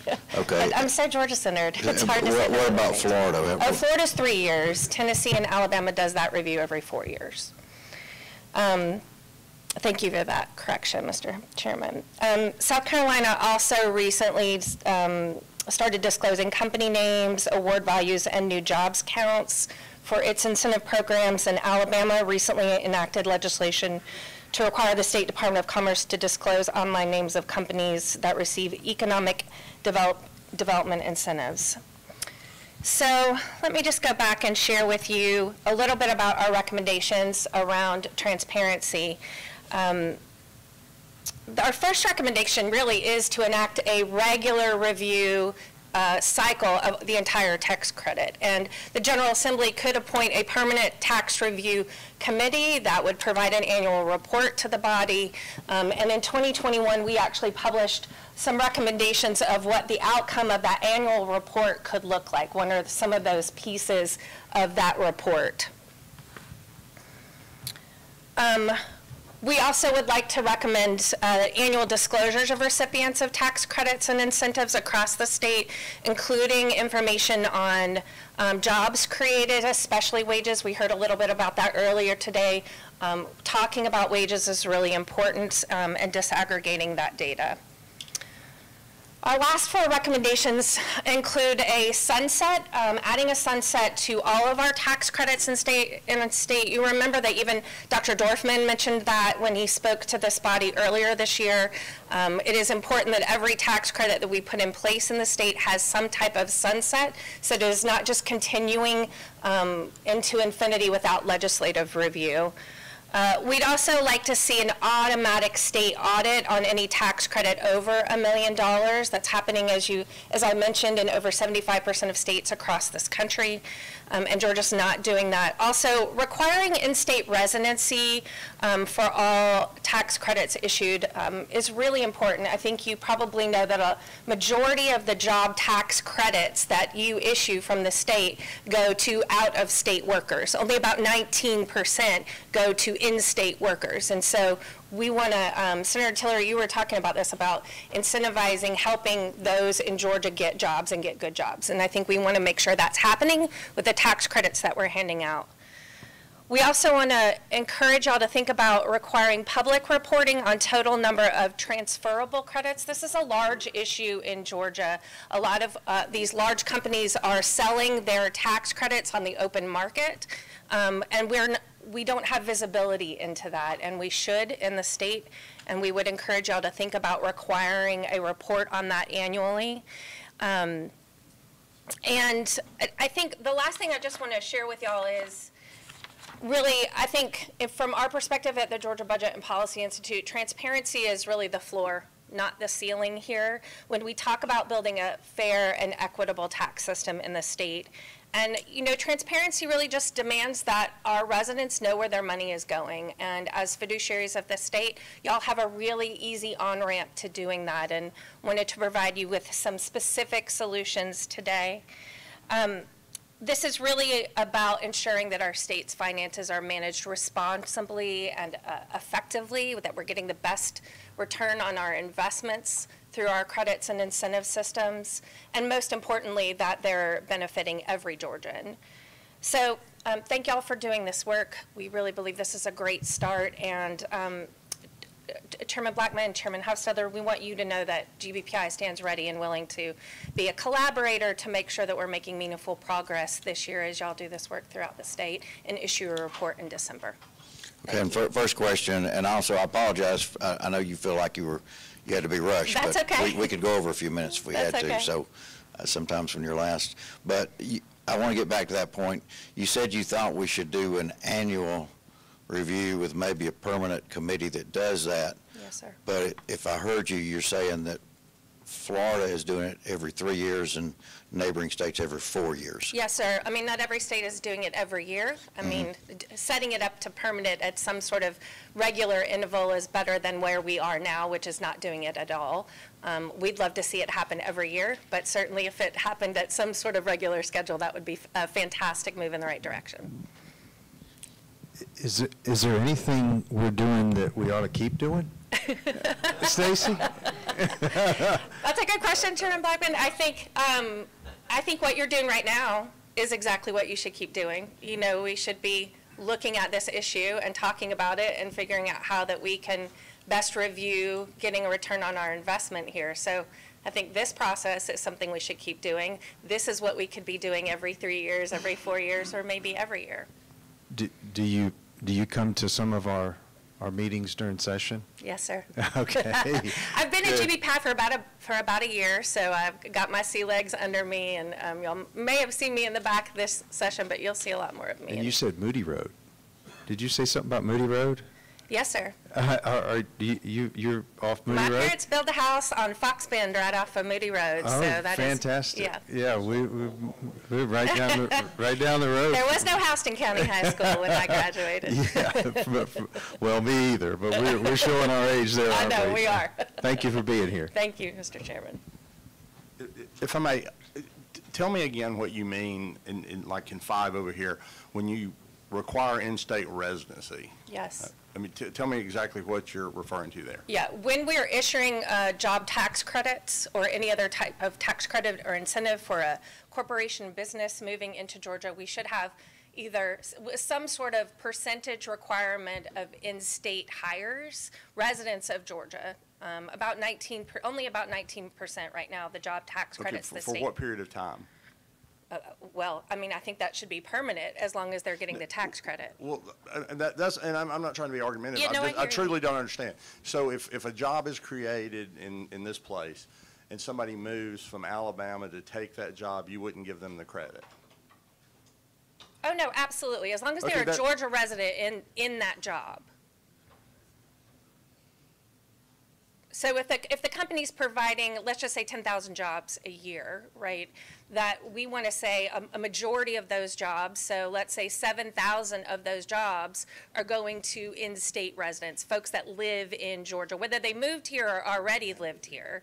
We want to make sure that's happening. Right now, Well, I mean, that, that, that's, and again, I'm not trying to be argumentative. My, my understanding was if the, was job created in Georgia, the job had to be worked in Georgia, therefore, all the jobs would be Well, not all of the jobs are going to permanent residents of Georgia. A lot of times we have fly-in folks or a lot, because of COVID now, a lot of remote working is happening. So not, only about 20% of those job tax credits are actually going to permanent Georgia residents right now. I, I'd like to see that information. Yes, sir. I'm happy And- to and- share that with And you. again, the, the the question I wanted to have on that is, when you talk about in-state residency, are you talking about they're, they're from out of state, but they're working in Georgia for a period of time, six, eight months, you know, a year at a time, but they fly back home on weekends, et et cetera? Because if so, they're, they're paying Georgia taxes while they're here. Well, they're paying Georgia income tax, but they're not paying Georgia property tax. They're not Well, there's a lot of contributing towards our pay, school systems there's a lot of people that don't pay. Georgia property tax that I understand- I understand that. property. Okay, so th- that was it. Again, I'm not trying These to are simply recommendations from other states that we've seen that could be And helpful. again, I'm not trying to be argumentative, I'm just trying to understand what means in-state. Totally understand. Because th- then the question I would have, and, and this is truly I'd ask you to help us with, help us with uh, the Interstate Commerce Clause. And, Yes, sir. uh, re- Related to that, because I'm of the opinion that we can't provide something for a Georgia resident that somebody that comes in from out of state. I, I thought there was some sort of a prohibition. uh, About treating that difference with the Commerce Clause. So if you have some information from other states on that, that would be interesting. Yeah, absolutely. We'd love to help on that. I mean, I think because of the interdependency of our economy, that's really hard to mandate, and I understand that. And so there are some past solutions that we've seen that have worked in other states, and we'd be happy to offer those details. Any other questions? Oh, yeah, Representative Buckner, thank you. I do, um, I don't know if this is on or not, but, um, several years ago, when Larry O'Neal was the chair of House Ways and Means, we started putting sunsets on, on almost all of the tax bills. Sometimes some get through without it, but we've been pretty consistent with that over the years. And I'm the one on the committee lots of times that say, oops, there's no sunset. So I, I'm very familiar with that and very, and supportive of that when that comes back at the end of that sunset, there generally is a pretty good review of what happened with that tax credit. Would that not count as when you said that all of the tax credits should be uh, evaluated? We're doing that on a rotating basis, tax credit by tax credit, it seems to me, but you may see it different, and I Yeah. just was No, curious. that's a great question, Representative. Uh, First of all, I would say based on our analysis at GBPI, there's a good chunk of tax credits that don't have sunsets. And so we, during this review process, we really encourage y'all to look at all of them and make sure that each of them has a sunset attached to it.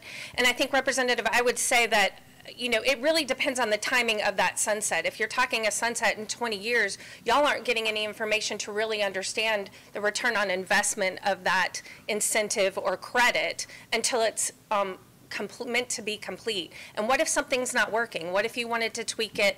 What if you wanted to sunset it earlier? What if, what if you wanted to grow it? You wouldn't know that um, until you were getting to the end of it. So I think in any of our financial investments, we all are getting balance sheets monthly, you know, in our businesses to look how things are going.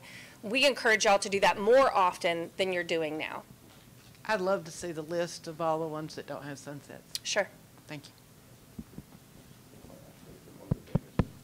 I don't, I don't know that this really is a question about tax incentives, which is what we're talking about, but just Georgia public policy, do y'all have a stand on where you are with reducing income taxes in general? do, does the Georgia Budget and Policy Institute have a stand on reducing income tax? Mm-hmm. Well, what we'd like to see is a more fair and equitable balance of income tax. Currently, you know, those who pay the majority of their income, about 10% of their income are our lowest earners. You know, those that are making $20,000 or less in Georgia are paying 10% of their income towards income tax versus our top 1% of earners that are making over $450,000 a year only paying 7% um, of their income towards income tax. So our opinion is there needs to be some uh, move to make that more fair and equitable. We certainly don't uh, support a elimination of state income tax. Okay, well, I just, I, I thought maybe y'all were against reduction in income tax and, and, you know, wanted us to try to spend more in the budget and do other things, so just Well, We have ideas about how to spend money, uh, of course, but not in this I, instance. I have never spoken with anybody from GPB buying anything that has to do with the budget is near and dear to me, so I would love to have any discussion you would like to have, so. I'll follow up with you.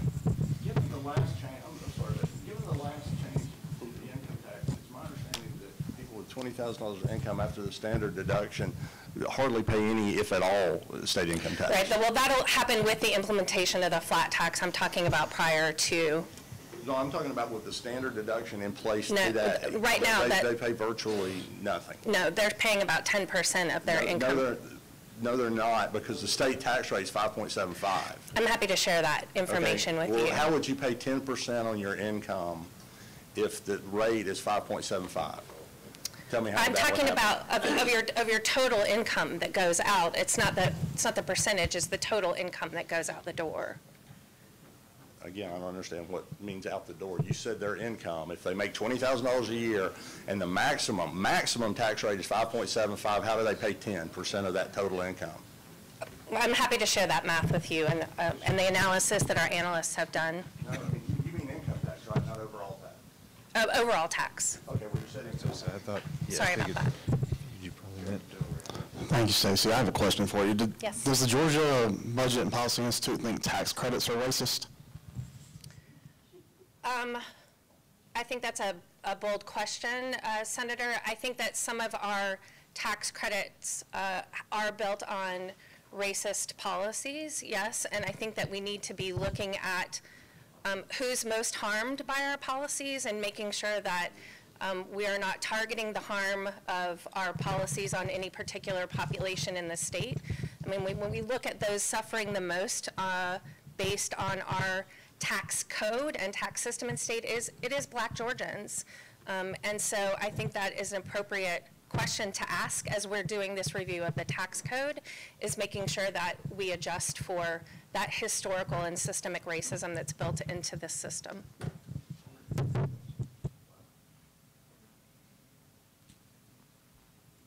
other questions? I'm not, I'm not seeing any. Um, We do, you know, it's important, we have dialogue, whether we agree on things. Absolutely. I appreciate y'all having, having us here, and we certainly stand ready to provide information and be helpful, and I thank y'all for being patient for some of my missteps today as I'm learning too. All right, well, thank, thank you for that information. Thank you, Chairman. Oh, I'm sorry. I got handed it. I, I was thinking it was still on. Thank you for that information. Um, The meeting is, is, that's the entire agenda for today. The next meeting is in Rome. It's uh, September 20th, and it will be right next to Berry College in a nice facility that our governor has spoken at. And uh, we'll get all the details out on that and work through the technical issues too. So uh, with that, unless you need to add something, Uh, Thanks to all our presenters and, and speakers today, and thanks to the panelists for being here. We enjoyed being in Savannah. we sure do. All right, meeting adjourned.